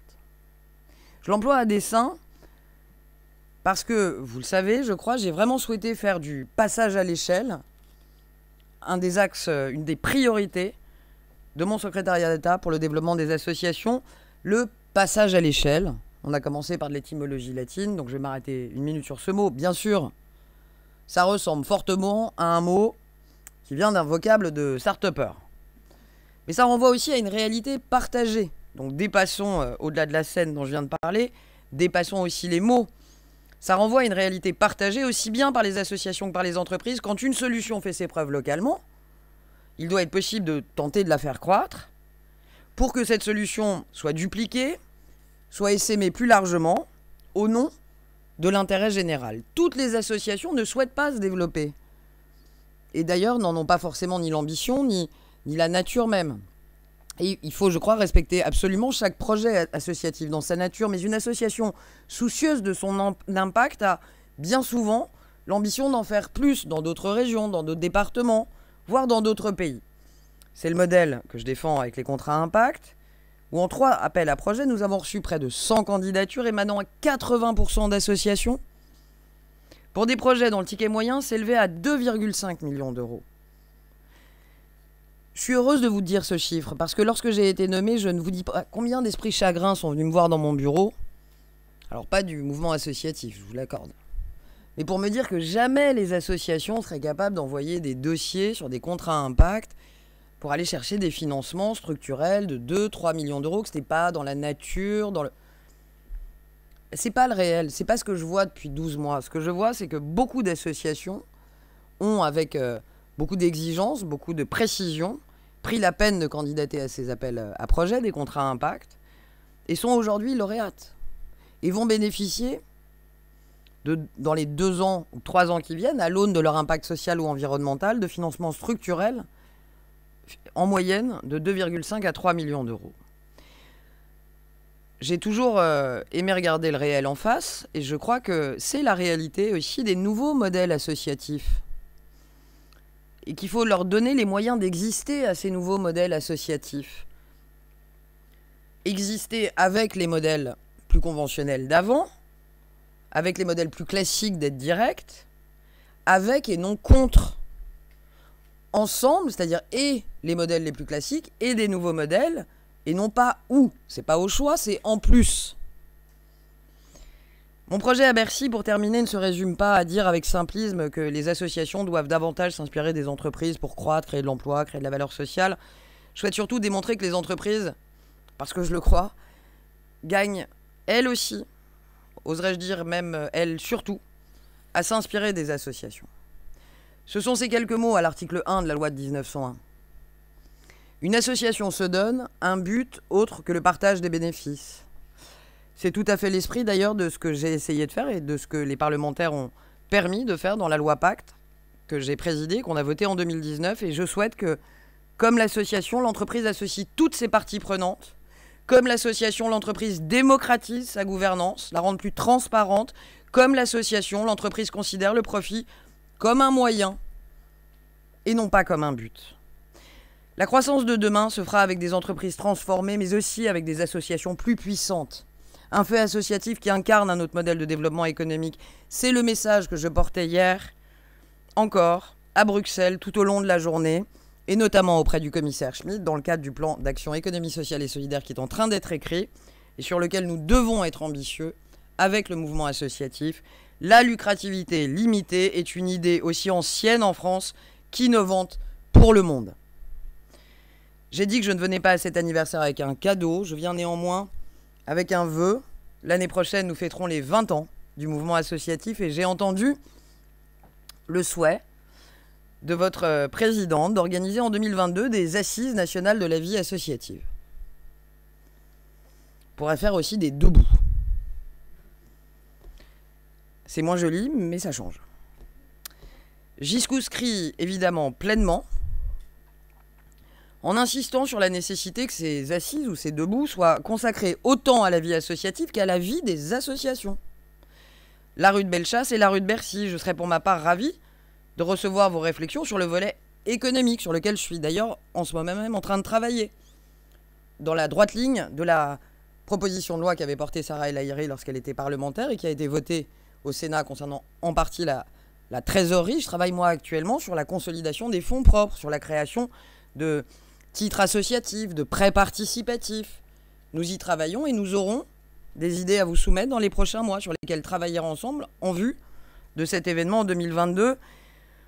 Je ne doute pas, et c'est bien normal, que nous reparlerons du, du plafond d'imposition, de celui du mécénat, de la taxe sur les salaires, de la manière d'attribuer les subventions avec euh, le sujet important de la pluriannualité dont vous avez parlé, avec le sujet tout aussi important du comité paritaire, Autant de dispositifs sur lesquels on a agi depuis le début du quinquennat, même s'il reste du boulot, évidemment. Mais j'aimerais, ce sera mon mot de conclusion, qu'il soit question d'un modèle davantage que de chiffres, et pour reprendre les mots de Pierre Valdec-Rousseau, dans un autre contexte. Évitons que ce soit un chiffre qui serve de frontière entre ce qui est permis et ce qui est défendu. Ce qui est défendu, c'est de calquer le modèle des associations sur celui de l'État ou des entreprises. Ce qui est permis, c'est d'être ambitieux. Cette permission, je vous la souhaite euh, tous très ambitieuse. Vous me trouverez à vos côtés pour la porter sur le volet économique. Un très bel anniversaire et surtout une très longue vie aux associations que vous représentez, que vous portez. Et je veux que mon dernier mot soit juste merci.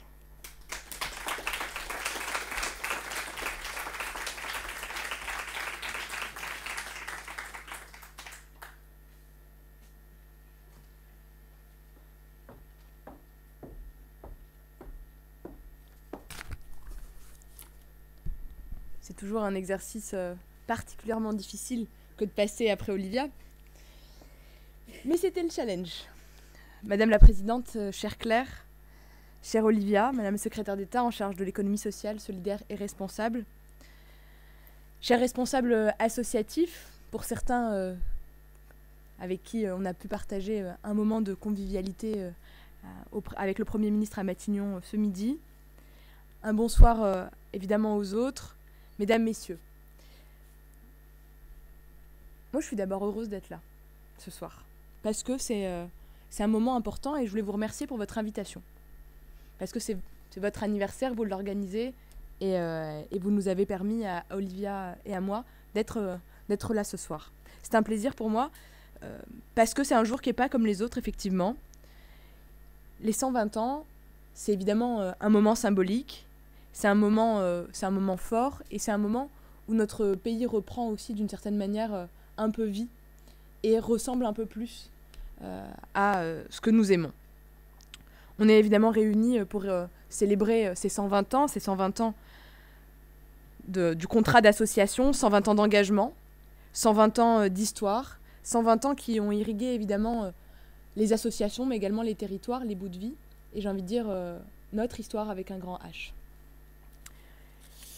Et on pouvait pas rêver meilleure invitation, Olivia et moi, que celle que vous nous avez faite, euh, Madame la Présidente, euh, au nom du mouvement associatif, parce que évidemment vous êtes euh, les porte-paroles, les porte-paroles quasiment d'une association sur deux.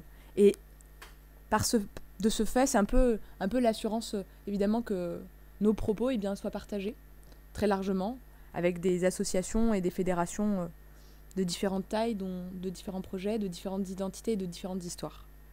C'est pour ça que je voulais commencer par un merci. C'est pas, euh, pas un hasard si, euh, pour la première fois dans l'histoire de la cinquième, euh, le mot et la mention engagement apparaît dans un gouvernement. Je suis en charge de la jeunesse et de l'engagement. Et je sais, et Olivia aussi, parce que on se l'est se, l'est toujours dit, on l'a toujours partagé. On l'a partagé d'abord à l'Assemblée, dans des combats, dans des combats budgétaires, dans des combats législatifs, et, on est camarades de tranchée, euh, dans un collectif euh, qui est un binôme qui est le nôtre. Mais on sait ce qu'on qu'on doit au monde associatif, dans sa diversité, ce qu'il permet au quotidien. Alors c'est vrai, chacune avec, euh, avec son expertise, ses moyens et ses particularités, mais dans le fond, le commun est là. Aujourd'hui, et encore plus peut-être parce qu'on sort de cette crise et que je pense que ça a un peu lessivé tout le monde, en tout cas euh, les esprits, les, les âmes. Il euh, n'y a pas un territoire qui n'a pas eu euh, besoin de son association, il n'y a pas une famille qui n'a pas eu un moment ou eu envie de s'engager ou à chercher du sens dans l'engagement qui a été le sien. Cet engagement, il est de notre devoir de l'accompagner, sous toutes ses formes, de le faire grandir, c'est notre devoir de lui donner euh, les moyens de continuer, également à conquérir notre jeunesse. Moi, ça me tient à cœur, parce que euh, on a aussi cet effet un peu ciseau, cette euh, soif d'engagement, et en même temps, je crois, une culture à, apporter, en tout cas à, tuiler d'une certaine manière. En tout cas, c'est ce qu'on dit, c'est ce qu'on dit chez moi. Et les associations, elles sont absolument essentielles dans la construction des citoyens, et donc du coup des jeunes et des jeunes enfants qui font et qui seront les citoyens de demain. Olivia l'a dit, et évidemment, je l'accompagne sur ces mots. On a, été à, vos côtés, euh, dans vos travées euh, en tant que député, on continuera à l'être, évidemment, euh, aujourd'hui en tant que membre du gouvernement, depuis le début du quinquennat. le soutien a été divers, et je sais qu'elle n'en a pas beaucoup parlé, mais parce que c'est son œuvre, alors moi, je, du coup, je prends le relais. l'utilité sociale. Aller chercher cet intérêt général partout, en tout cas le défendre. Ça a été le projet. Initialement. Mieux reconnaître le bénévolat, développer une société de l'engagement, développer euh, un, soutien, en tout cas un, une confiance euh, institutionnelle et financière. Je crois que le chemin est en cours. Nous n'avons pas atteint l'objectif définitif, en tout cas dans, notre vision, une vision partagée. Et c'est pour ça qu'on continue. Et c'est pour ça qu'on est sur, je, je, crois, en mouvement, en action. Et que cette action, euh, elle ne doit pas faiblir. On souhaite évidemment euh, valoriser encore plus, reconnaître le bénévolat à sa juste valeur, susciter des vocations chez les plus jeunes. Je sais, euh, Madame la Présidente, que on a eu l'occasion d'en parler dans d'autres moments, à quel point euh, des textes législatifs sont là et que nous n'allons pas suffisamment loin dans leur, utilisation, je pense évidemment. Et vous savez à quoi je fais référence, à la reconnaissance de l'engagement dans les parcours universitaires, scolaires et au-delà. On a un projet, alors un projet assez dingue, c'est vrai. Mais ce projet, c'est une sorte, en tout cas c'est comme ça que nous le vivons, une sorte d'accélérateur de l'engagement. Cet accélérateur de l'engagement, il s'appelle le service national universel. Alors il crée débat, c'est vrai.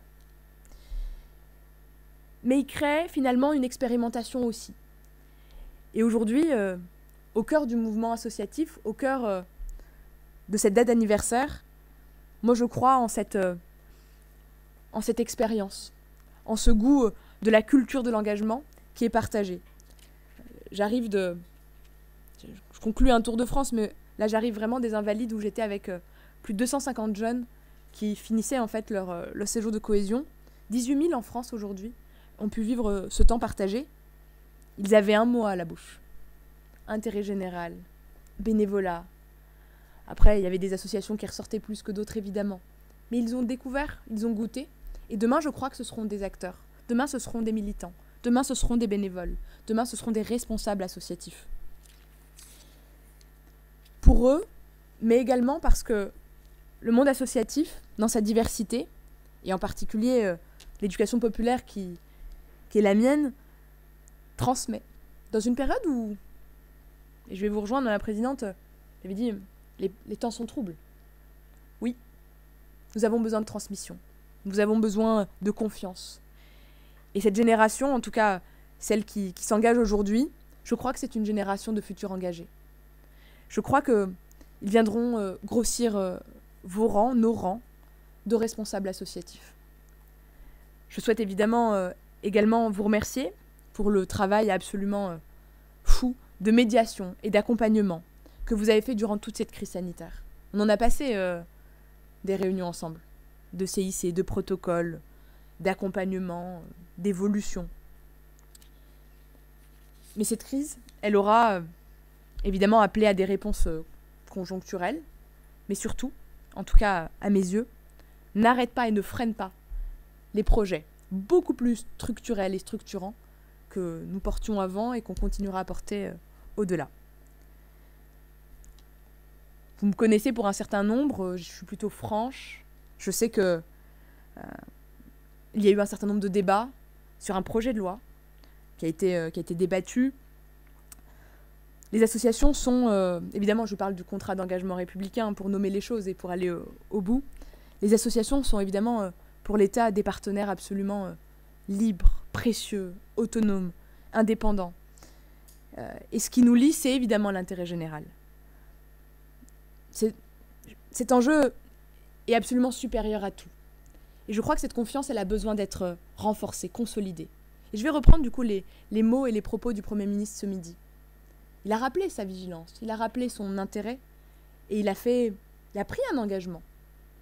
Cet engagement, eh bien, nous le porterons, je le porterai à ses côtés, avec Olivia bien sûr, et avec tous ceux qui vous connaissent, vous connaissent d'avant, parce que ce travail n'est pas terminé, parce que les enjeux qui nous attendent sont, arrivent là, dans le, cœur battant de l'été. Votre action euh, de plaidoyer, elle a été, euh, elle a été forte, elle a été sans cesse. J'ai vu votre capacité à revenir, à continuer, à ne pas lâcher. Et je vous en remercie. Et c'est pour ça que je souhaitais le dire à haute voix. Parce que votre moteur, c'est l'intérêt général, parce que nous avons conscience euh, des craintes qui sont les vôtres, et parce que le projet qui est le nôtre est un projet euh, protecteur. Comme l'a dit le Premier ministre encore tout à l'heure, nous serons absolument vigilants pour que cette co-construction aille au bout avant la sortie, euh, évidemment, du décret. Et je souhaitais euh, vous le dire, vous le dire de vive voix, pour ne pas, pour, ne pas nier. Tout à l'heure, euh, Olivia parlait de la confiance. La confiance, c'est aussi se dire les choses, aussi simplement. Et au-delà de ça, il y avait euh, des moments forts, qui qui est le fruit de, vos travaux. euh, c'est évidemment euh, ces deux lois qui ont été votées, qui ont été promulguées après un long périple, plus de trois ans. Plus de trois ans. Et pour rappeler la genèse euh, de celle que j'ai eu la chance de porter, c'est le fruit du rapport qui a été remis par le mouvement associatif au Premier ministre Édouard Philippe. La genèse, elle est là. La genèse, elle est là, et c'est ce rapport que nous avons mis en œuvre, transformé, et finalement déposé euh, à l'Assemblée nationale, et que j'ai eu euh, du coup le plaisir, euh, évidemment, de, défendre en tant, que, en tant que ministre. Mais ce projet, il est collectif. Ça a été vos propositions et j'ai trouvé des alliés. Olivia était l'une d'entre eux. Parce qu'il fallait toucher au monopole bancaire. Vous pouvez se rappeler de ça. Il fallait toucher à la... Est-ce que oui ou non on refait tomber dans le budget général de l'État les biens, les biens mal acquis ça, faisait des années qu'il y avait ces combats-là. Et ces combats-là, ils ont été gagnés. Ça, c'est pour vous dire qu'on sait se coordonner. De la même manière, et je ne veux, pas être, veux pas être trop longue, et je crois que je le suis déjà, simplement pour vous rappeler que je crois qu'en disant que et Olivia et moi, on est des militantes, c'est ce qui reste. C'est ce qu'on est. Et c'est de cette manière-là dont on travaille. Et donc 1901, eh bien c'est 120 ans, c'est une belle dame, mais une belle dame euh, dans son âge, qui est synonyme de jeunesse, donc ça me va bien. Cette loi est pleine de vigueur, elle est pleine d'honneur, je crois qu'elle nous oblige. Et c'est comme ça que, que je comme ça que je la vis. Je souhaite évidemment profiter euh, pour conclure de cette tribune euh, pour vous féliciter à nouveau, Madame la Présidente, mais également euh, vous dire que dans les, dans les jours qui arrivent, avec, avec Olivia, nous allons réunir l'ensemble l'ensemble euh, du groupe association au Conseil économique, social et environnemental. Parce que par votre expérience, par les travaux que vous allez mener, eh bien, je crois que nous serons, euh, et je l'espère, à la hauteur des enjeux qui nous attendent. Vous nous trouverez avec la même pugnacité à vos côtés, avec un, gouvernement mobilisé, investi, qui continuera à promouvoir cette culture de l'engagement, l'accompagnement des bénévoles et évidemment euh, vos actions au quotidien. Je ne dirai plus un mot, mais simplement 120 ans d'engagement, un énorme merci et ça se célèbre. Merci beaucoup.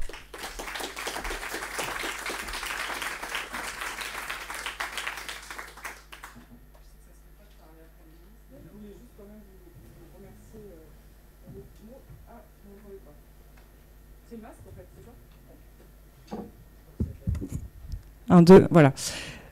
Je voulais juste, euh, je sais que ça se fait pas de parler après l'émission, mais là je voudrais surtout vous remercier toutes et tous d'avoir été euh, présents, d'avoir répondu présent à cette invitation.